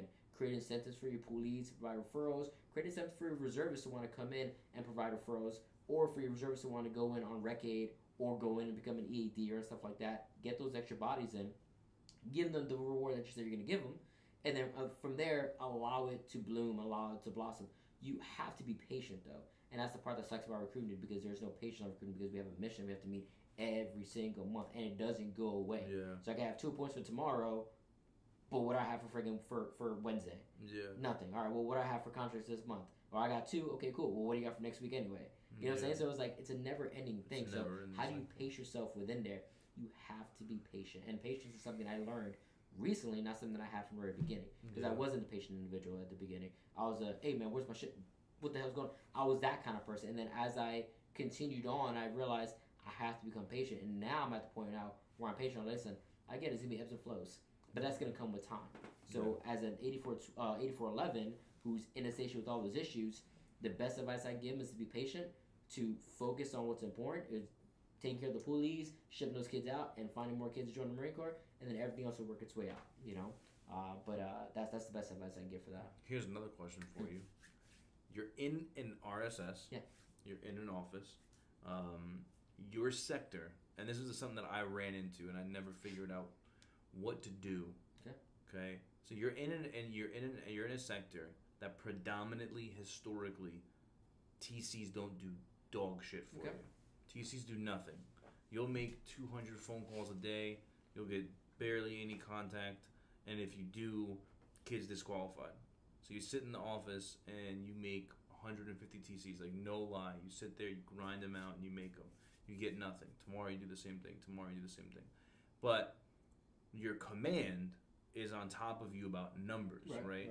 But you're just like, but Gunny, but Mass aren't, but Master Guns. Yeah. Phone calls aren't doing anything get for me. But hey, man, I need you to make my TC objective. Right. But at the same point, it's like okay, making this objective. If you look at my my ninety days of data, I don't even get contract. It's not because I'm not good at TCs. Because if I call his list, if I call that sector, I'll get contact, I'll get Right. appointments, I'll get grads. But if I call my sector, I will not. The question is, why continue to make a number when the number is doing nothing for you? Yeah. Um, Because I feel like a lot of people get so caught up in the number I agree with that. that it's it's it's an it's well hey like and, and it's also the fact of you you know if i sit in the office and i've been there as a recruiter if i sit in the office all day long i and i make 200 phone calls because you can don't tell me you can't you can make two to 300 phone calls you've seen it done oh yeah, I've done. I'm not saying you, but people listening. Yeah. Like, you can't do that. No, the fuck you can. Um, but if I sit in the office and I make 150 or 200 phone calls, I have time shown in MCRISS. But if I go out in the streets and I don't find any kind of AC contact for six hours, the staff NCOIC is gonna be like, bro, what the hell were you doing for six hours? There's Yeah. no, there's no, there- there's no. It was dry. Yeah, Right. bullshit. Yeah, yeah. I hate So the. it's I hate like- the, it was a ghost town or there's no Yeah, one. I, I always yeah. hate. I always hated hearing that. So my Um, question is, like, what do you do? That see Because so, like, because like Old Bridge, yeah. Old Bridge is that AO. Yeah, yeah. You can make like I don't know how you know Smith is now, but like Morales, bro, Morales would make Cuevas. They would make two, three hundred phone calls to the same list, and they would get nowhere. Yeah. And it's like, well, why are we going to continue to destroy these lists and make phone calls that have never? It's been six months and we still haven't gotten anything. Right. Like, what's the? Yeah, no. So you- you're not you're not wrong. So this is what I walked into when I got to South Jersey. When I got to South Jersey, they were making a shit ton of CCs. Uh, they weren't really getting much out of it. Um, and we have to remember we're also dealing with the Marines who, well, a lot of them obviously weren't even around here, you know, back then. But during COVID time frame, Yeah. TCs was the only way The to only thing you do can do, anything, yeah, right? Uh, so so no one knew how to AEC, so it became more of a a comfort based decision, right? Mhm. Because we could control the fact that I pick up the phone and I make phone calls. So I'm too afraid to go out there and talk to people in the Oh streets. shit. So remember, control fear, right? That's gonna be a common Yeah. theme that we're talking about here, especially when we talk about leadership, uh, and especially when we talk about recruiting duty. So that's what it comes down to. I can control the fact that I'm on the phone. So again, a perfect example of this would be Sergeant Smith. Sergeant Smith, because I was just in Monmouth for, for six weeks. So Sergeant Smith was exactly that. He just pick the phone, pick the phone, pick the phone, pick the phone, pick the phone, and he just all that's all he'll do. And he'll make easily, you know, 150, uh, 200 freaking TCs, but get nothing out of it. So it's like, why? Why? Why on your phones? And actually, Romaine, Romaine says you're hiding behind the phones. When Romaine came into the office, he sat down with him and it's like, yeah, you're hiding behind the phones. You need to get out there and get your AO. But then he goes out to his AO and he comes out with no AC contacts. Yeah. So now, it comes down to one or two things, right? It comes down to either A, there's literally nobody out there, or B, you're choosing not to talk to anybody. So now it becomes, all right, cool, well, let's get back to the definition of what an AC contact is. What is an AC contact? A name and a number, Yeah. Yeah. or the ability to contact an individual, right? Yeah. So if I can contact this individual later on the road, he's an AC contact. Does it say anywhere in there about them being qualified or disqualified? No, nothing in there. AC contact, right? Yeah, yeah. Name and follow up information. Mhm. So then, go get me names and follow up information. Go get me AC contacts. Because what they're doing, and I don't know, because I can't tell you what Charles Smith is thinking in his head Yeah. Yeah. and what he's doing specifically, but what I believe Marines are doing nine times out of ten when it comes to AC is they see somebody, they're too afraid to go talk to them, so they say, ah, they're probably disqualified, and then they continue going, right? Because it's much easier to say, oh, they're probably disqualified, Yeah. something going on with them. So then I say, no, no, you're gonna talk to everybody out there. Yeah. You see grandma, you talk to grandma. You see a guy in a wheelchair, you talk to a guy in a Yeah, wheelchair. yeah. You talk to every single Yeah. person you see because they may not be qualified to join, but, they they, may have someone who might, Bro, right? so talking about that, so um, I was going when I first got on recruiting duty. Um, this was like right after you left. I just gotten back from BRC, and um, it was the summertime, and I met this dude at church who was a um, who I had no idea this dude was a Marine. I had Okay. no clue. He never brought it up, never talked about it, nothing. And um, all of a sudden, we were like, I don't remember how, but it came up that he was a Marine. He had just gotten out, and now he was a realtor. And he found out that I was on recruiting duty, and he was like, my he was like, hey man, if you ever need any help, just let me know. He was like, I was really good on recruiting duty. He didn't tell me like that he was actually phenomenal on recruiting Okay. duty. He was like, I was really good. He's like, but if you ever need any help, let me know, man. So long story short, he ended up coming out. He was living in uh, in Elizabeth. He ended up meeting me out at Monmouth, um, at the Monmouth Mall. And um, this is like six months into me being on recruiting. No, it's like a month into me being on recruiting duty. And um, um, we're walking through the mall. We're walking through the mall, and he's just like, I'm like, so, so you gonna help me? He's like, oh, I am. He's like, I'm helping you right now. And I was like, like okay. We just keep walking through the mall and walking through the mall, and like finally a half hour goes by, and he's like, "Are you gonna talk to anybody?" Yeah. He goes, Bro, I've counted. And he's like, Bro, I've counted at least 12 to 15 people that maybe they're not qualified, but like, you could have easily had a full on conversation with them, gotten an AC contact. I'm like, and he's just like, Let's continue. So he's like, Talk to the next person you see. I don't give a damn what they look like, Yeah. who they are. And it ended up being like some drug addict. And and he was, but he, what he did was, he went over to the person. He was like, "Hey, what's going on, man?" He was like, "This is my friend Doug." And Doug, this is what's your name? And he just just brought this conversation together, Yeah. and I was like, "Bro, what the heck is going on Yeah. right now?" And then he continued to do that, and then we started. I was talking more, I was talking more, and then I was doing it, and then he we ended up having like a forty five minute conversation with somebody outside about you know I'm getting you know all we did was just get a whole bunch of AC contacts, Yeah. and it was at that moment that I realized like, bro, I'm afraid to talk to people. Yeah. Like, and that's what it, but literally what it Literally was. yeah. And now it's that would never happen again in my lifetime. But that's what it was. And he was like, bro, you just walked by so many people. And then he and he just he, I was like, no, I didn't. And he was like, bro, the guy in the red hoodie. And I was Mhm. like, oh shit, yeah, the guy in the red hoodie. And he was like, this guy, this guy, this guy. I was like, oh crap, I didn't. So that happened the other day when I was in Monmouth with uh, with Cuevas and, and the team. I went in there at first with Staff Sergeant Cuevas and we're walking around. Uh, there was a table full of kids sitting down. Some are eating, some are just bullshitting, right? And uh, I, I looked at him and he's like, he's like, he's like, oh no, good, I don't, I don't do that. People sitting down and eating, I don't talk to them. I was like, okay, well, that's why you won't be successful. And you know, we kept on going, and I'm looking at another kid, looking at another kid, looking at another kid. I was like, are you gonna, are you gonna talk to anybody? He's like, oh, you know, I'm just just trying to find the right kids. Like, right, that's why you're not gonna be successful. You know, because again, I can do it for him, but Yeah. what is he gonna learn by me doing it? Yeah. Right? So, so like that, it becomes a lot of it becomes that, right? Because Yeah. even even Sergeant Smith said to me like, so Gunny like, you know, I just you know just need someone to go out there, you know, and AC with me, kind of show me. I was like, no, you don't. You know, you don't. You don't need anyone to go out there and AC with you. You know what to do. Mhm. You've been trained and taught what to do, and you've done it before. Yeah. You just don't want to do it. There's a Yeah. difference. Yeah. Yeah. I'm not trying to be mean to you or anything like that, but I'm just being real and being honest with you. You just don't want to do it. That's what it comes down to. Yeah. So when we went to the want Monmouth, someone to do yeah, when we went to the Monmouth Mall with the team, same thing again. Not talking to anybody, and I'm like, see, so it's a choice.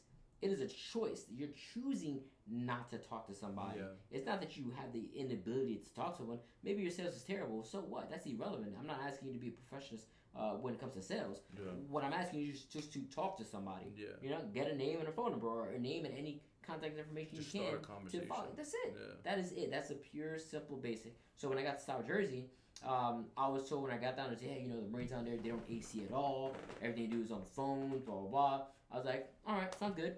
I checked out the numbers. I looked at the stuff because the numbers, they give you a picture. They don't tell you what happened in the picture, right? Yeah. So I'm looking at it and I'm like, all right, cool. I, I'm getting an idea of what's going on here. Uh, all right, Marines, check it out. Let them do what they got to do. Bring them in. I provided training on AC technique, right? We went over AC, friggin' the role plays, did everything, the way you go, blah, blah, all that stuff. Did everything, right? Go. You've been trained. You've been taught how to do it. Go. Go execute it. Because they're, they're, they, they've been around for a minute, you know? It's not like they're brand new Marines who just came out from BRC. They've been around for a minute, so go. Go do it. Our ACs went up. Our contacts obviously went up because the ACs. Our appointments went up. Our interviews went up. And we started making contracting. So there was a direct correlation between making contact with an individual face to face as opposed to being on the phones. Yeah. So going back to your, your point of well you're being told you're gonna make your TC objective, I'm hit right now, right now, on my CGAT matrix, I'm being hit for TC objective per Marine not being attained. Um, because the highest I have is 14% for one of my Marines, and the lowest I believe is like 2%, 3%. Um, which again, I agree, not good at all, right? Yeah. If you're at 80%, Yeah, yeah, maybe a lot like- better, yeah. right? It's really low. Yeah. Well, it, it's like that for a reason. Because if they're constantly on the phone and they're making contact with mommy and daddy, and mommy and dad's like, hey, Johnny and Susie's not home, well, then what do I do at that point in time? Well, if Johnny Susie's not home, where's Johnny and Susie? Out in the streets. Well, guess where I should be at? Out in the streets. Yeah. Because that's where Johnny and Susie's at. Yeah. Right? So there, beco- there needs to be a balance. Yeah. I think balance is the key, right? Yeah. Balance is the key. If there's a balance, and I think that's what's great about when the high school college program opens up, that you have that balance now, right? Because Yeah. you have the AC ability in the schools, because you're all stuck in there. And Mm-hmm. then when you get out of the school, now you have some more AC, but now you can freaking TC as well, right? Yeah. So, um, you know, there, there needs to be a balance between making TCs, making TCs at the right time, you know, understanding your market, your demographic, your list, what the best times are to call your list, and then from there, doing everything you can to make it the most effective time frame that you call your list. Yeah. And that's the thing too is like no That's the hard part. and that's the thing too is like now you know twenty you know hindsight's twenty twenty looking back at it it's like nobody uses the the list scheduling card the way it's supposed to. Right, yeah. Like if you actually used Yeah. it the way it's supposed to, like we're talking about, it's mm-hmm. like, bro, it wouldn't make sense. Because Yeah. the reality of it is that if you, if there was a recruiter who sat there for three years using his light his his list scheduling card, and then you check in, you yeah. now have three years of data to say, oh shit, dude, every Monday they never worked for this guy. But on Mondays at this time it worked because now you would already know that and you'd be like, oh shit, I'll never make phone calls until Monday at One of my biggest pet peeves is notes in yeah MCRISS. When people don't put anything inside the note. yeah It it just it drives me nuts. Cause like I get MCRISS is a flawed system and mm, has Yeah. so many different errors, but there are certain things that they did in MCRISS that make it like it makes it beautiful. That box right there, and not to validate myself, right? But the list scheduling card used to be on an actual card. yeah So I used to have to write on the card what the freaking hell my result was, right? So we had data back in the day to know, hey, don't call this freaking time because you can see here on your list scheduling card that ain't the freaking time to call. mm-hmm. In MCRISS, you have it even better to where you just click it and it's not written in hieroglyphics. Well, Yeah. submarines freaking hieroglyphics handwriting, Yeah. you can easily read that it says, hey, Yeah. don't call at this time. Call at this time, zero contacts, blah, blah, whatever your note. It takes maybe, maybe, maybe at the most, on MCRISS's worst day, a minute, a minute to to close out an event. there A minute, um, one minute to close out an event on its worst day. If not, maybe 25, 30 seconds if everything's rolling fast. And it takes you maybe 25 to 30 seconds to put in a note. If you really think about like what I want to say, hey, you know, call the list, freaking no answer, got a couple moms, got a couple dads, got a couple kids to follow up with, uh, done. You know what I'm saying? That altogether doesn't take you more than a minute, yeah right? But again, what do we do? yeah We just close out the event, Yeah. and we don't Or we any notes in don't close out all the way. Or don't the close out the event at all, right? then- Yeah. And don't put a note in there. Yeah. And then we freaking do the same thing again.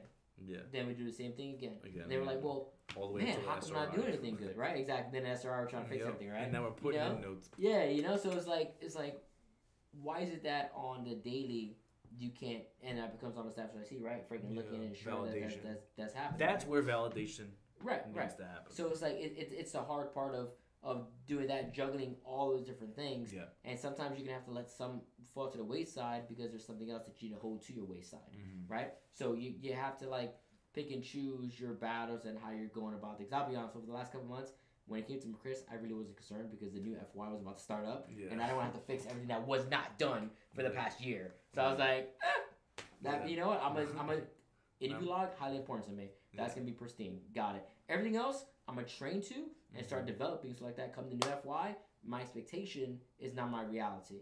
I expect notes. You don't put notes in there, we have a freaking problem. Period. Yeah. Sarah Morgan, I had a conversation the other day. Sarah Morgan, where's my note? Ah, good, I forgot. No, no, no, no, no, no. No, no, fuck your forgot. Yeah. You're forgot. You're, you're past I forgot. it's been 90 days already, and I already told you numerous times that I need notes in here. Period. You do it again, we're gonna have a fucking different kind of conversation. Mm. And again, I'm, I'm not being a douchebag about it. I'm yeah, saying literally the exact same tone of voice I just for said. 90 days. Yeah, that exact same voice I just used right now is the exact same thing I, I said before. You know, so it's like I'm not trying to be a douchebag about it, but like you have to understand, like I'm gonna give you certain things. Yeah. There's certain things I'm going to expect that you give me. Yeah. And if you don't give me those things that I expect, and I expect those things for a specific reason, because they're going to benefit you in the long run. Yeah. You know what I'm saying? Because again, that's me looking at it and saying, well, I don't want to personally make comfort based decisions. Mhm. I don't want to make a decision out of fear. I don't want to control. Yeah. But I need to control this in order to help you Yeah. control something else down the road. Yeah. So me knowing those things now and trying to make those decisions based off of not being out of fear, not being in control. Uh, it's a scary thing not being in control. You know what I'm saying? We want control all the time, but we have to learn to give control up in order to get what we need in the long run.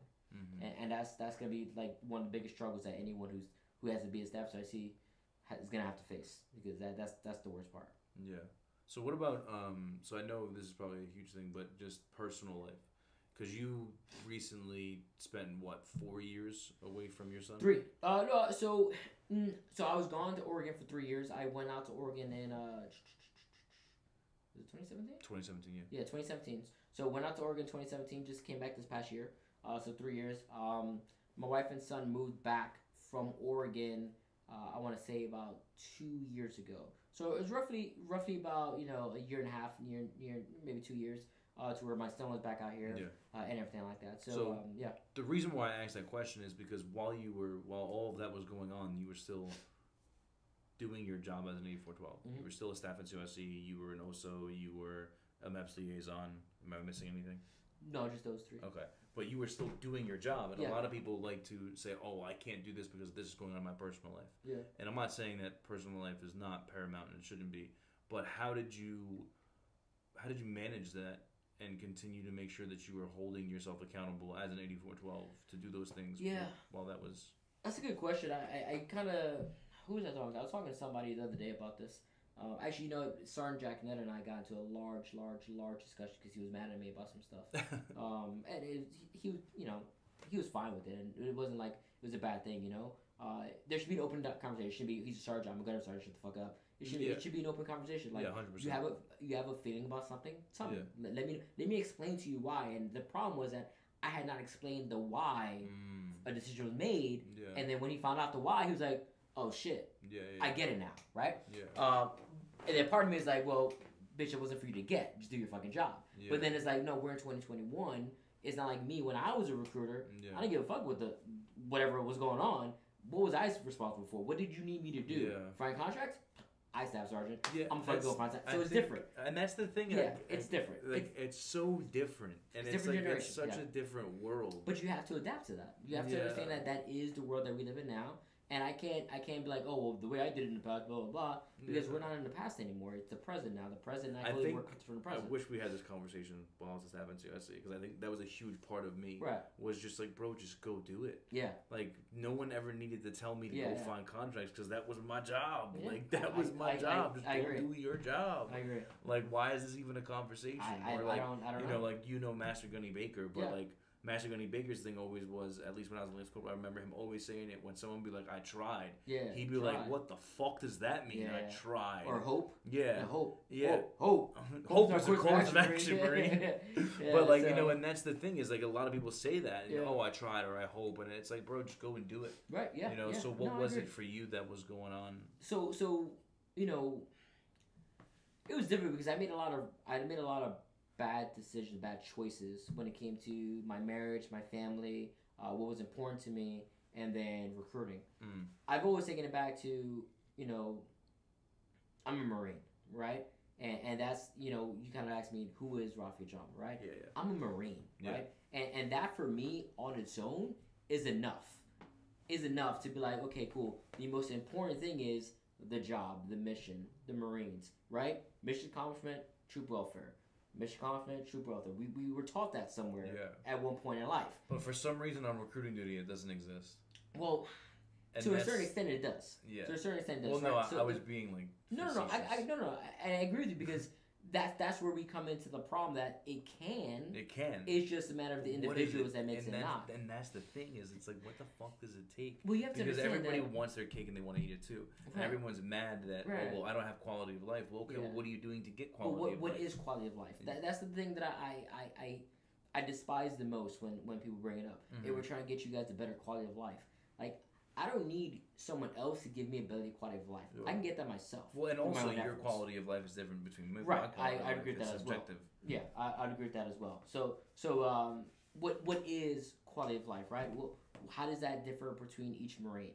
Mhm. You know, what is it they want as far as to have a quality of life? Because if you have a single Marine who doesn't have a family, then what is quality of life He for doesn't them? want to go home. Right. They, Yeah. Maybe they don't care, but maybe they do want to go home, Or they but they don't want to go home for a or- different. yeah, Yeah, you know what I'm saying? Maybe they're being a hoe out on the streets. You know, yeah. who knows? Whatever the they want to do, right? Uh, that, that that's on them. So it's like, what is what is each in each individual's quality of life? My quality of life now is different from what it was before. Yeah. My quality of life now is trying to be with my family, spend time with my family, and stuff like that. That's my quality of life now. My quality of life before was making mission, being successful, and people being out of my office. That was my quality of life.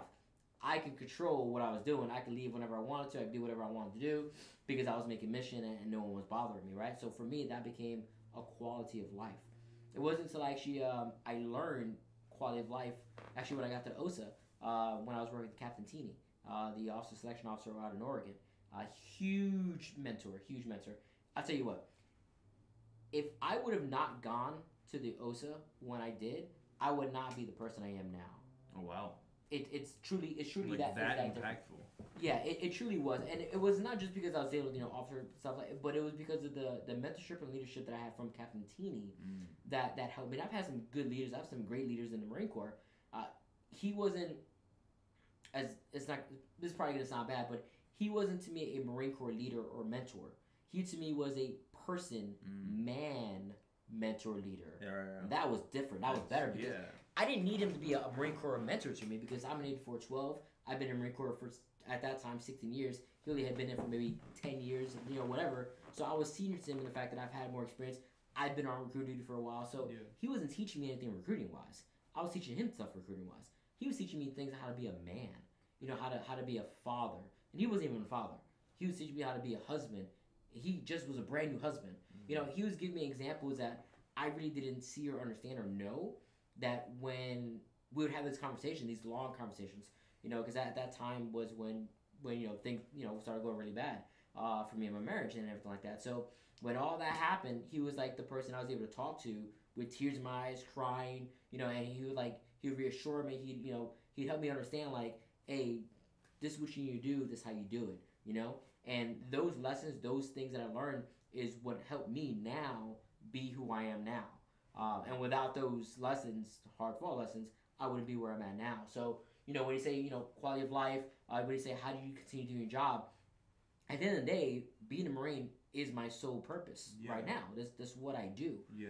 So I had to ensure that no matter how bad my situation was at home, that I took care of that applicant, that candidate, Yeah. or that poolee or whoever it was at that time, because my problems is not their problem. yeah. Yeah. So why should I bring my problems into their life? My job is not to, to do that. My job is to help them become successful for whatever they define success to be. Mhm. Based off our conversation, if they define success to be becoming a Marine so that they, they can get whatever they want later on down the road, then my job, my goal was to help them become a Marine, period. That's it. There was nothing else to it. Yeah.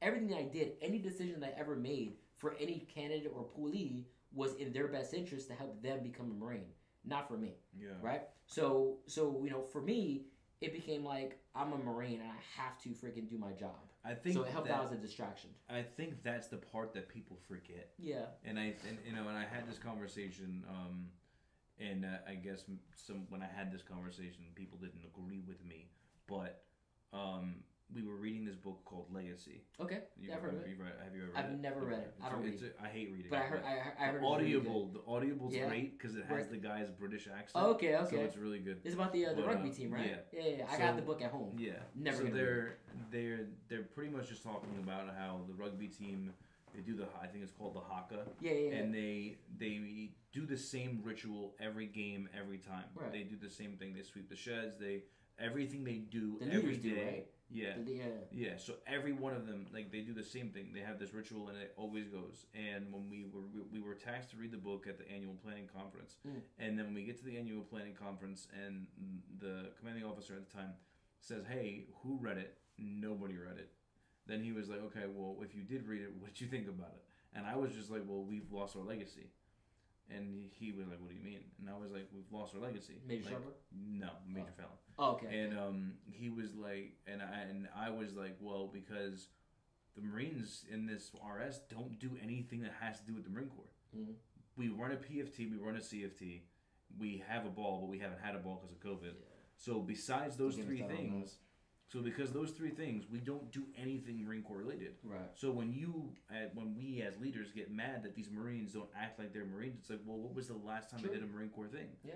So we, so um, like, so this book made me realize that we've lost our legacy because we do nothing Marine Corps related. We don't have mess nights. We don't have, Yeah. we don't do anything. We don't have Warriors nights. We don't do anything. You have Earle where you can literally go and do a freaking Warriors night like they did back yeah, in the day. Yeah, I remember Sergeant Williams, you were Yeah, there. I was there. Yeah. Like Roman was there. Yeah, yeah. Like mm, um, Major Campbell. It was horrible like- because it was during the NFL draft one of the years Yeah. where the draft, you just Yeah. had like a number three pick. Well, and I- then they did it, and then they did a um, a breathalyzer the next morning. Yeah, yeah. Like, I was like, what are we doing? Yeah, like yeah. you know, we all just drank all Yeah. night in a tent, and then they whatever. But the point of the matter, though, was like that was a good camaraderie building for the Marines, Right. and that was my point that was coming across. And then one of the gunnery sergeants, um, female, was like, "Well, that's your job as a staff NCOIC," and I was like, "But that, I'm in an office. I have a fire team." Yeah. I was like, we have a company of Marines Yeah. that want to go out and just do things and be Marines, even if it's just once a month, Yeah. even if it's quarterly. Like I think that that's something that the Marine Corps. like, Again, I'm, I can't speak for Marine Corps recruiting duty Yeah. because like I've never been in every RS in this, you know, in in the world. But that was what pained me is like I'd be on recruiting duty and I'd see dudes in RS Atlanta or where I don't know the name of it, but other RSs that are at clubs that are having mm, you know mess nights that are doing Yeah. all hands at at bars or in Vegas they do their all hands at a casino, and it's like Well, Jersey used to do that. but again, we- again, those so, are the yeah. things that it's like, bro, those are things that Marines want. They want camaraderie. Because if there's never a day away from work, then it's just three years of time that you're never gone. Yeah, I don't I don't disagree with you on that at all. Um, you know, obviously not having a ball kind of kind of sucks. Uh, no, that's kind of kind of it does it does suck. Uh, substituting with the mess night uh, would be beneficial in some way, some capacity, something to honor the fact that we're Marines. Um, I do agree that we we've kind of lost that legacy. I understand to a certain extent how you control within your office the marine like environment and whatnot. I get that to a certain extent, but it's not the same, like you said, Yeah, you know, with having fire team and having a platoon uh, and everything like that. Uh, what can we do to change that? It's difficult on recruiting because uh, we're dealing with a lot of things when it comes to money, Yeah. finances, when it comes to location, and then now you're throwing in freaking COVID into the equation. But then most importantly, the number one thing there becomes mission, right? So if you have a station that's failing and missing mission, and you have other stations that have to overwrite, then what is the likelihood of those Marines who had to overwrite yeah. want to go hang out with the Marines who fucking failed mission? So here's here's something that I've always said and have yet to see it done, and I think that if it was done, things would change. what's that? if you So you have all hands every Okay. month, right? Yeah. Due to COVID, that changes what- whatever. But most of the time, you have all hands, right? Mhm. In all hands, what happens? You go to all hands, you get some BS training that needs to get done, or you get the MC3 modules that had to get done, which I'm not Right. saying is BS because it needs to get done, right? But you go through these MC- MC3 modules, and then after you go through that, then you get the awards, and then all right, see you guys later, right? Right. It's the nine times out of ten how how it rolls, right? Most recently, yes. Okay. So, what if, what if, maybe this happened back in the day, Okay. but what if all the ARIs left the fucking room, Okay. all the staff NCOICs left the fucking room, Okay. and your heavy hitters sat in the room Mhm. and started fucking talking shit to everybody? Like, hey, motherfucker, why do I have to be a heavy hitter? Right. I don't want to be a heavy hitter. Hey, motherfucker, why am I overwriting every month? Because you're not. Right. And those are conversations that should be had. Because if you think about it, there's like there's this dude who just got out of the Marine Corps, Turner. Okay. I only met him like four or five times in four years on recruiting duty. Me and him, if we had more of a chance to pick each other's brain like we're doing right now, Yeah. How much better of a recruiter would I have been and how much better of a recruiter would he have been? Why is all of the training just simply a PowerPoint, MC3 modules? Why isn't it, hey man, what's working on what's working in your AO? Right. Hey man, what are you doing when your when your TCs aren't working? Hey man, you know, you sound like like my like um Stasar Ebach and Okay. he just got off recruiting Yeah. Toms River. He was in Toms River. He came and he sat down with us and he was telling Cuevas about how he's um what do you call that word? Um he's an introvert. Okay. So now an introvert was talking to an introvert on how to be successful on recruiting duty. Yeah. And it was like, why isn't that always happening? Because yeah, I get it. Again, the MC3 modules, the MC4, all those things have to get done because they're per, they're part of the training for the year. I get Right. that. But once that's done, why don't we just do training to where, hey man, what are you struggling with? Hey, what are you having a fucking horrible time at? Oh, I'm really bad at this. Okay, well, what do you do? Because you're actually really good at it. How do you do it? That would be Okay. So to play devil's advocate, like it. how, how would if I'm a struggling marine, right? If I'm that struggling marine, right, and every time at all hands I see Staff Sergeant Bennett get up there and get a different fucking color bat, you got a damn rainbow fucking rainbow bat, right? And and I'm like, man, that guy fucking Staff Sergeant Bennett, he's fucking good. I fucking suck. That's the end of it. Yeah. When is that Marine who sucks gets up and go up to Staff Sergeant David or Staff Sergeant Bennett and say, "Hey, uh, Staff Sergeant Bennett, how do you do that? How is it that you're so good? What is it you're doing Yeah. that's so good? You know what? Can you come down and come work with me?"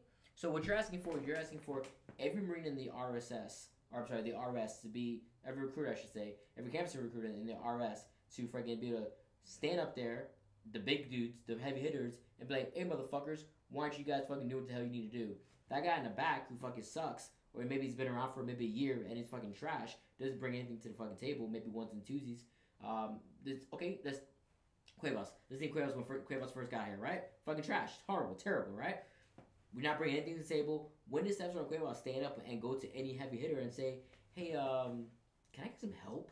Know, Well, that's what I'm saying though. It's but that's the self-starter thing. That's the initiative, right? We're talking Yeah. about leadership. That's on that individual Marine to want to get up and go do that. Yeah. That's not all all hands. That's not the purpose of all hands. All hands is is to to go over what's going to be happening next and provide the training for that. Now, if they want to have, because I did it before with all the staff I sees. Uh, I was like, I was like, oh, you know, sir, yeah, if you give us some time for me to talk, I said, hey guys, like, what the hell is going on? We're missing this, we're missing that, we're missing that, we're missing some basic things. So I had a conversation within the staff I sees on like what to do and how to do it, right?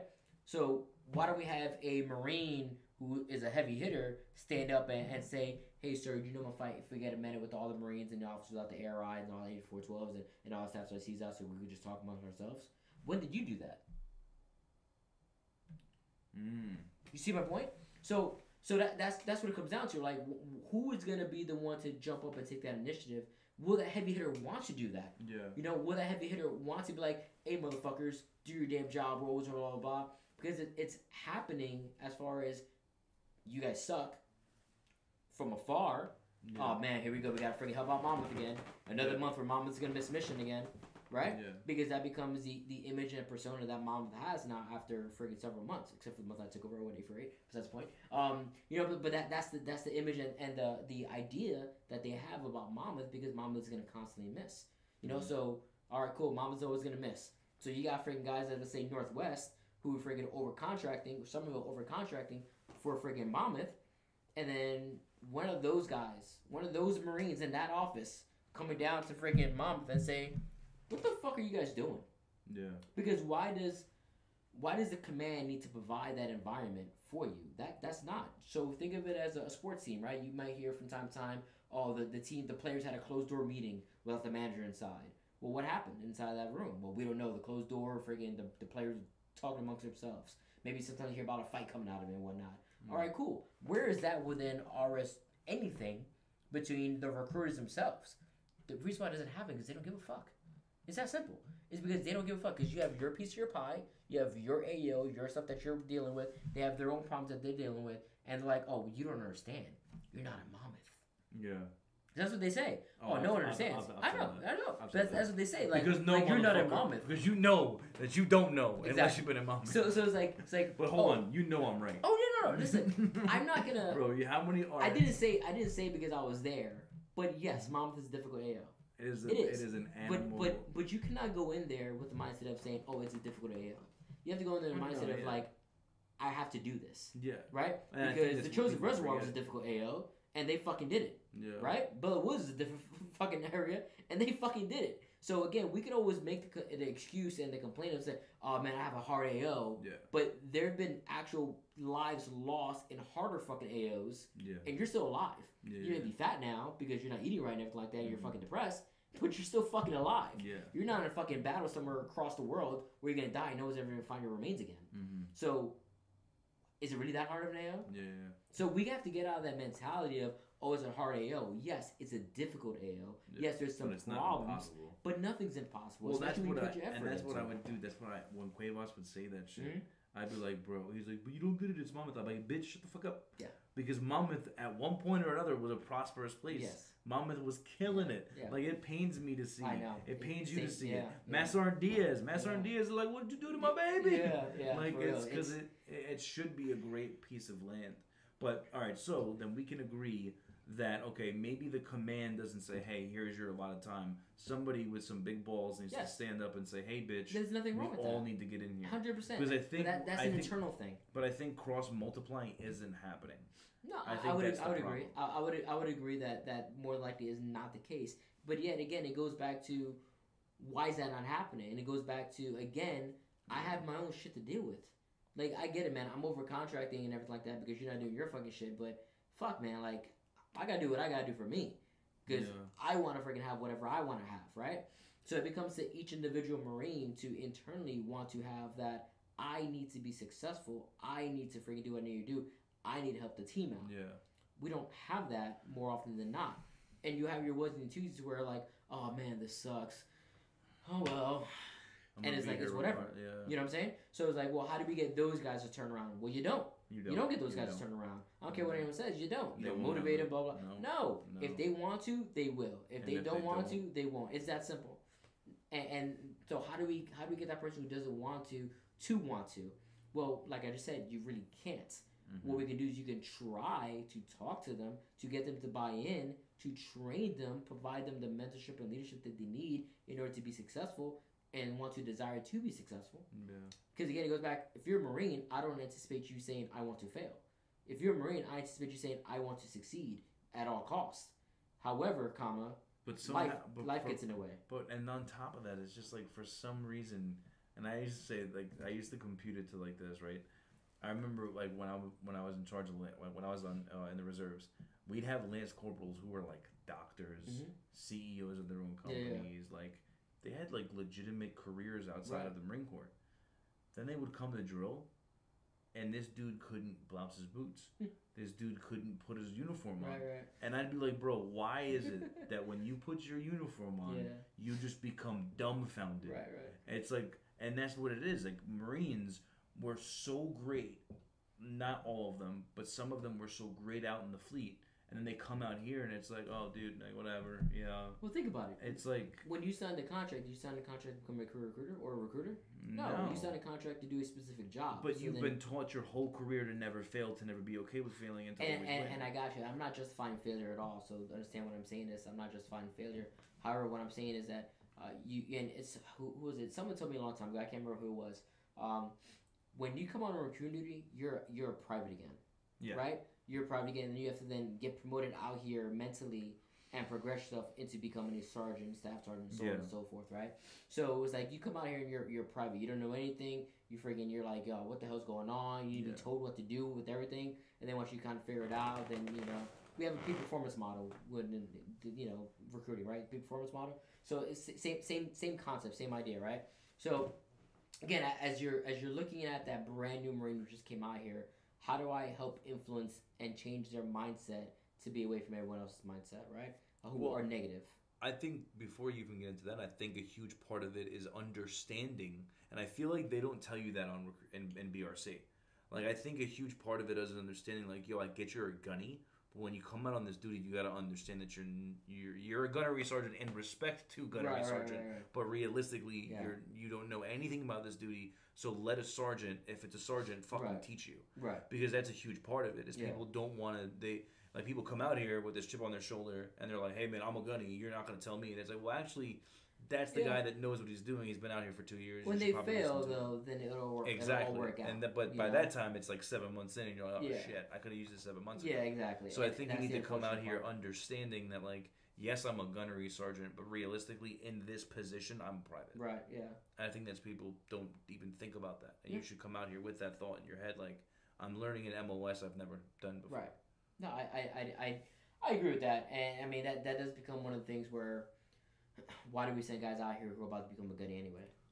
Besides the point, right? I don't, I don't control that. That's not within my my my purview or anything like that. But however, it, it's something that I, wonder or why do we send out gunnies who about to be a mass sergeant? Yeah, like exactly. how And it doesn't. like, I don't, I don't understand the concept either. Um, like I how mean, does that happen? I truly feel like the perfect rank should be either a brand new sergeant or, Or a sergeant who needs to get promoted. yeah. You know, that's like the perfect the perfect area, right? Mhm. Because it leaves roo- room for growth for leadership, but it also leaves a, a hunger and a tenacity to want to get promoted and want to be successful, and then be still young enough to Yeah. be molded, yeah. and not someone who's like a staff sergeant for like Well, three or four years, exactly. who's like, And then oh man, like, and then if, this, if know? you send out a sergeant who just picked up sergeant, right, then he's going to be out of his MOS as a sergeant for three years, and then probably pick up staff sergeant. right, So then he literally the whole entire rank of sergeant wasn't even in the fleet right. because that happens too. That, that does But I, but again, I, But I, I can, get that. I, but I, that can get figured out once they go back out to their MOS school and then get back out to the fleet, Yeah, right? yeah, yeah. So that that can get figured out.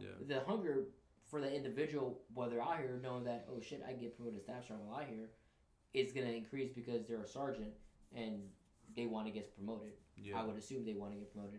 Uh, if they at least want a successful tour of duty, and they're also more moldable as a sergeant because you're in that middle ground, right? You're in the middle ground to where you, you, you can't really be like, ah, I don't fucking know, but you're like, well, I really don't know. You're like in the middle ground, like, well, I'm here to learn. you know what I'm saying? Because you're already there on recruiting duty as a sergeant. Like you're like, I, I, I can learn. You know.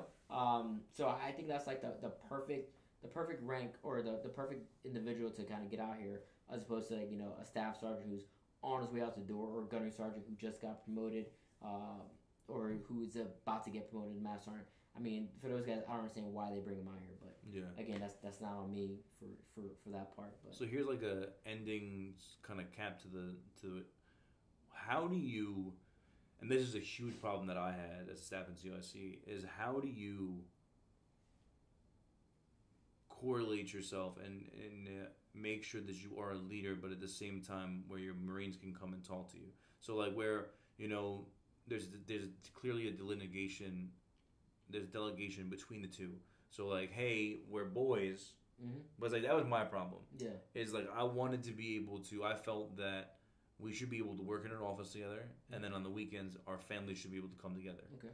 But then other people didn't agree with that. They were like, "No, you need to separate church and state. right, yeah, Like there needs to be a clear discussion. Like you're the staff NCOIC, they're the recruiters. So that was a huge problem for me because like for me, a lot of the reason why I think Monmouth was good for the ten months that I was there is because like we all lived, breathed with each other. Our families knew each other. Our kids grew up together because it was all like, okay, well, if we don't make mission, well, then we can't have this time. Right. We can't go play board games and chill or whatever. But I was as a recruiter. What? That was as a recruiter. No, that was when I was a staff Okay. See, Okay. it was both because Okay. like when I when I came back to Monmouth, that was so in the time that I was away from Monmouth for seven months, that that was gone. Right. Like so while I was on recruiting duty with those Marines, but when I was a recruiter, we would all go out together. We would do things together, and then when I left, they stopped that, Right. and it was just hey, we're all gonna go to work. And then the gunnery sergeant who was in charge was like, no, like Yeah. you guys are the troops, and I'm this guy, and we're Mhm. not at all. You know what I mean? Yeah. But me, I was like, well, if we have a family as an office, then we're all going to work together because if we don't, then it's more like I know Nicole. Right. So when you don't go home tonight, Nicole knows that it's my fault that Right. you didn't come home. And, you know, or Rebecca or whatever. And it became more of like an onus on the family member. And it was like, oh shit, I fucked you and your family over. Right. But other people's ideas are okay. Well, then you were too close to your Marines, and they, the way that they spoke to you, or the way that you guys, did just the delegation. So my question is, what is the happy medium, I mean, or or are you the person like Gunny Ledbetter? Gunny Ledbetter all the time be like, hey, bro, you need to stop. yeah. Like he's like, bro, stop being fucking boys with your recruiters. Um, Gunny Odenbrett, hey, bro, stop being fucking boys with your recruiters. Yeah.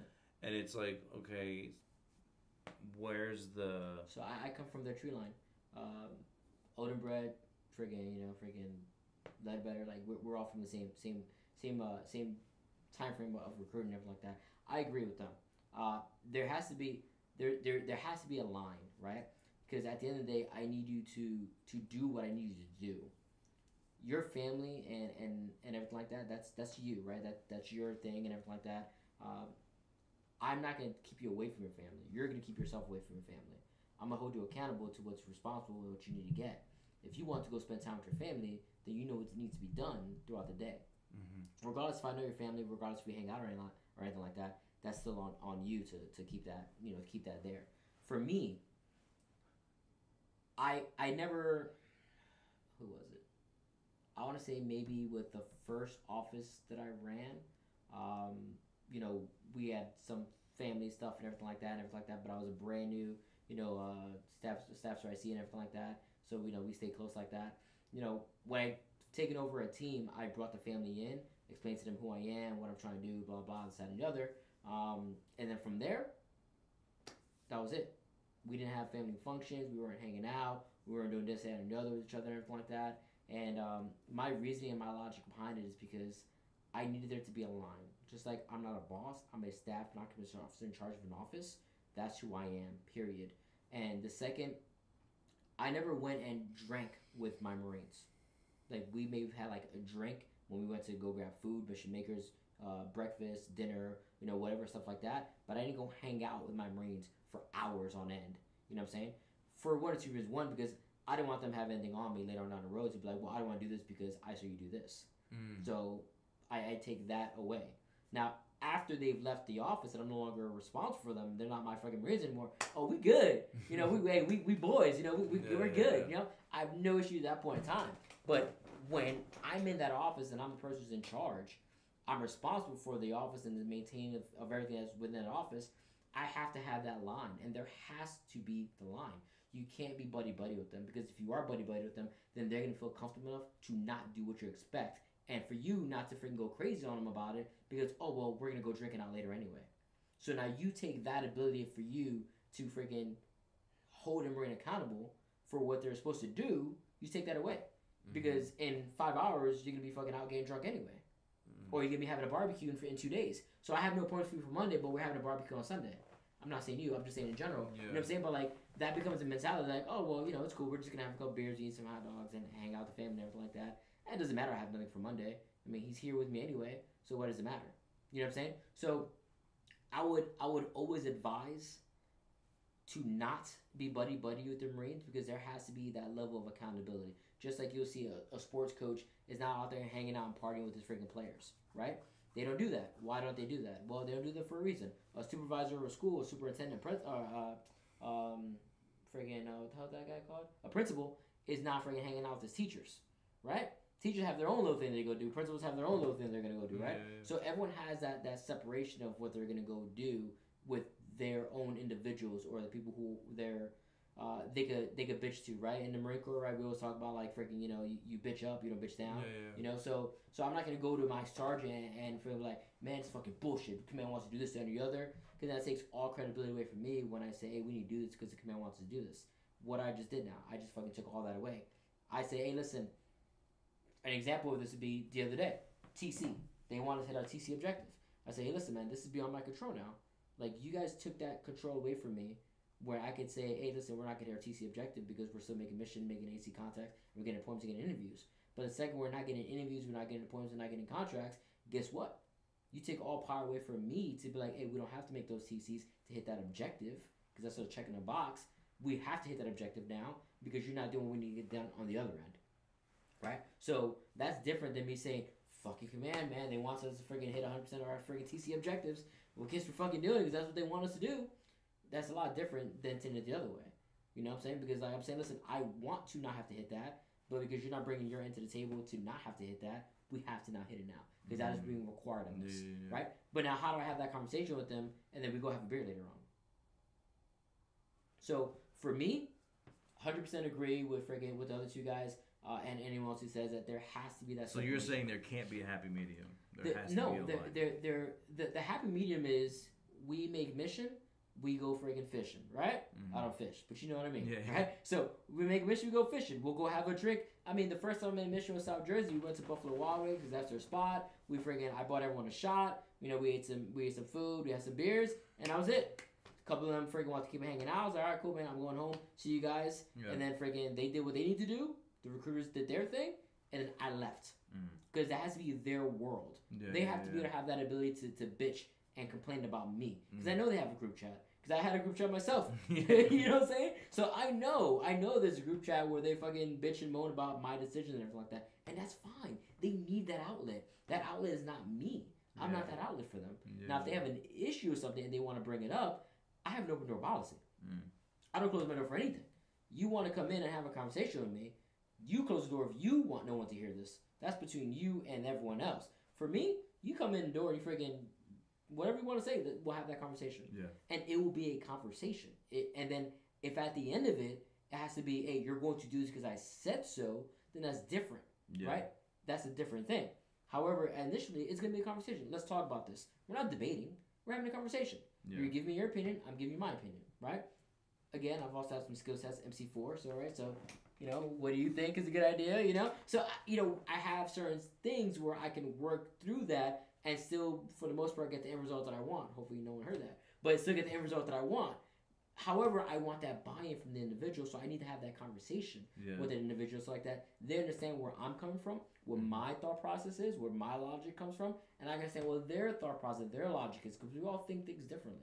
Yeah. How I might want to skin a cat is different from how someone else might want to skin a cat. yeah. I was talking to staff sergeant campus earlier today, and we're talking about a kid who's hot right now, and I'm thinking like, no, well, the kid is clean now. Let's get him on with that. Oh, but he's overweight. Okay, cool. We'll set him up on anyway, if you freaking RBJ, then we'll send him. Yeah, but then for a lot, so we're like we're talking back and forth and trying to figure it out. And then at the end of it, he came up with another solution. I was like, all right, cool. Let's go with that. That one makes sense. We'll go with that solution. So now we came up with another solution by having a conversation back and forth, and then we came up with what we feel is gonna be the best thing for that individual. Because again, all my decisions are based on what's gonna be best for that individual, right? So, so again, I think it's an open conversation. I don't think there's no there's no middle ground besides you know uh, a work event, right? That's not a social event; it's a work event. Um, there has to be that freaking separation. You know, uh, if you want to have the buddy buddy relationship, you know, the closeness and everything like that, understand that it's gonna come with with its downfalls. Yeah. Right, and you, you have to accept that that when they choose not to, because it's a choice. When they choose not to do something you want them to do, there's a reason why Yeah. Yeah. because they feel comfortable enough not to want to do it. Uh, and then how do you at that point in time hold them accountable to doing it without seeming like the asshole? Oh, well, fucking, why well, I want to go drink out with you later, man? You're a fucking asshole. You're being a douchebag to me because I didn't have this, that, and the other. Bro, it's your fucking job. Yeah, I know, but still. That was with me and Winchuck. When I became the staff IC and Winchuck was one of my recruiters, Winchuck and I were both at the PCS together. So we both knew our dirt.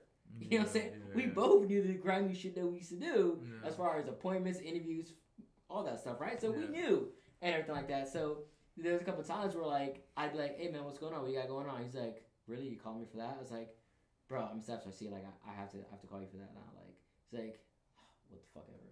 I'm like, bro, like I know, I'm sorry, man, but like I gotta know. So like there became a rift in our our friendship because I was now in charge, and he, for lack of better words, well not for lack of better words, because this is what he was, he was a subordinate.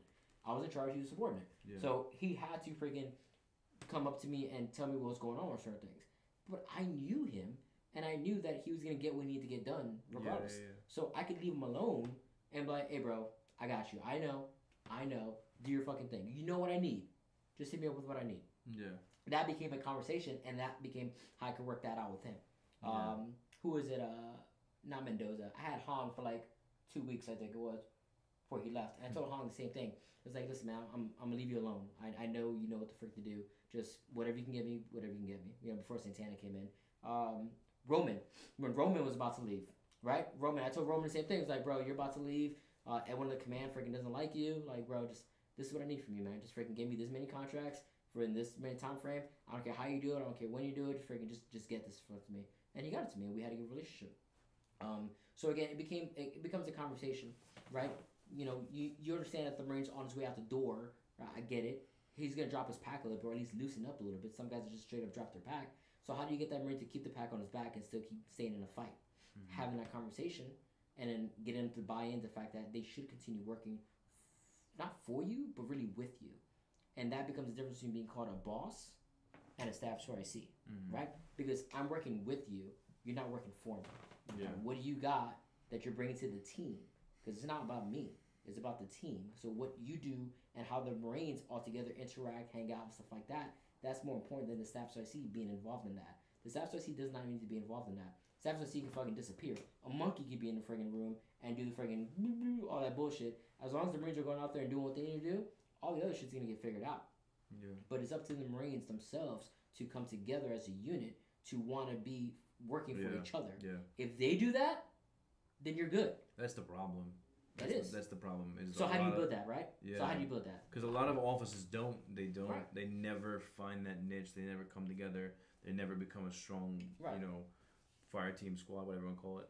Because like that's the reality of it. Is, is like so many people just bump so many heads. They don't care about each other. Well, actually, own this. the pie. How does it happen in the fleet? How does a fire team in the fleet come together? They hang out together all the suck. time. They're, yeah, Yeah. They, they go through the same trauma and troubles and, and training and everything like that. All the T's, right? They Yeah. go through all that stuff all together, and that builds up that relationship. Think about recruit training. when you're in boot camp, you had these freaking random ass dudes from all across the East Coast yeah. East of Mississippi, right? From everywhere, and you guys became close. You guys became a tight knit group, and it's like, well, how the hell did that happen? Well, it's because of all the fire you guys had to go through, and you have to lean on each other. yeah. So then, when you're a, a big thing that I used to like to do, uh, or that I do with South Jersey is like, hey, who are you gonna go AC? What other Marine are you gonna go AC with? I get you're gonna be out of your sector for ACing, but you know what? You can be with somebody else. So now you're building a relationship with that individual. Staff Sergeant Davis uh, right now is the Burlington Staff Sergeant IC, and uh, Staff Sergeant Jackson needs to go AC and out all together, and I loved it, right? Because it brought them together as a team, and it allowed them to then help each other out and going out there. Same thing I was telling these guys when I was a mom. I was like, freaking, who's gonna go out there and AC with Alfred? Hey, Cuevas, you're going out there with him, right? Smith, freaking Murphy, you guys are going out together, right? And you're gonna switch it up. You have each Marine freaking go off each other, and that is how you freaking start to build the team. That's how you start to build that bond together to where you're going out there and you're sweating, you're bleeding, and you're doing all those different things with those guys. That's Mm-hmm. why I probably shouldn't say this, but that's why Jersey's not as good as Jersey can be right now. Because all hands is we're gonna go in, we're gonna do training, and then everyone go back out to your sectors and go find someone to join the Marine Corps. Well, where's the PT before that? Where's the sweat before that? Where's the competition? Where's us fighting against ops and headquarters? You know, as as freaking all the recruiters who were like, oh man, those guys in the ivory tower. Here's our chance to get back at you in some sort of competitive sport in a fun natured way, of course. Yeah, yeah. But that was like my favorite thing about all hands. Yeah. We get to compete against headquarters. Here's a chance Yeah. to beat headquarters. Or Like, that's what we like- wanted. All we wanted was to beat headquarters in Yeah. anything. Yeah. Because it felt good to Yeah. finally get something back on the guys who didn't have to go through the same struggles that we were going Yeah. through. Right? And that is what made Jersey so successful, amongst other things.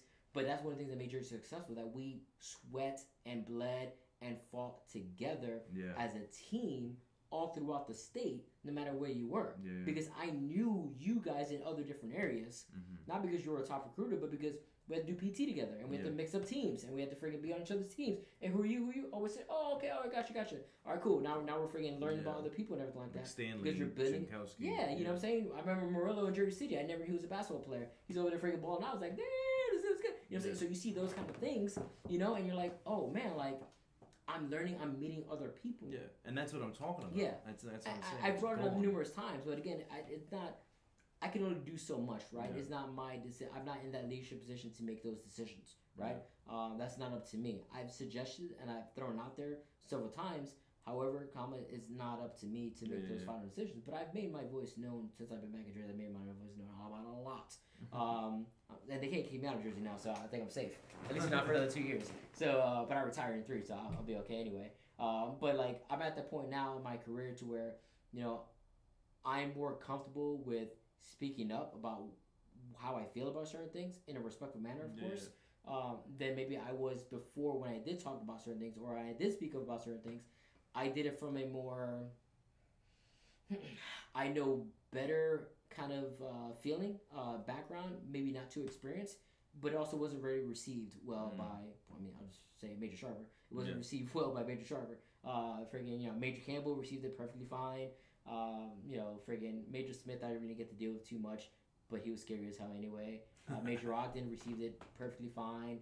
Um, you know, so so those guys are definitely good examples of of, uh, of people who know who received it, who received Major Goldboy in Oregon, outstanding. Uh, you know, received it, you know, received it really good and everything like that. And a Major Fallon right now, he's been receiving me too, pretty really good as well. So so again, you know, when I have a good relationship and I could speak openly and, and give my opinion about certain things from based off of my experience, that's what I'm bringing to the table. I'm not bringing like my opinion because I think it's a better idea. Yeah. I'm bringing I'm bringing my opinion because this is what's worked in the past and could this work now? Well, yeah, Let's and see. you've been here. So you were here for three. So you've been here a cumulative of what six years? yeah, something Now you're seventh.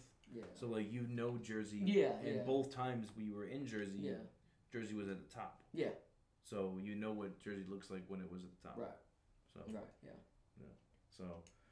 All right. Well, do you have anything that you want to end off with? Any bits of wisdom? Anything you want to just? Bits of wisdom. Whew. Anything you I'm, want? I'm like the last person that has any any bits of wisdom. I kind of just uh go by the seat of my pants and kind of figure out as I go along. Um, I, was talking to Staff Sergeant Davis the other night because he was kind of upset about some things that happened, uh, and um, you know I, I told him like you know you control, right? I, I think I've used that Yeah, word yeah, several yeah. times already. Uh, you control what you do on a daily basis. You control what your Marines are able to do and not able to do. I was like, if your family's important to you and your family's a priority to you, then every decision you make needs to be based around making your family a priority. So don't tell me that you're upset that you missed your daughter's recital. Why didn't you go? Well, the Marines, okay, wh- why didn't you go?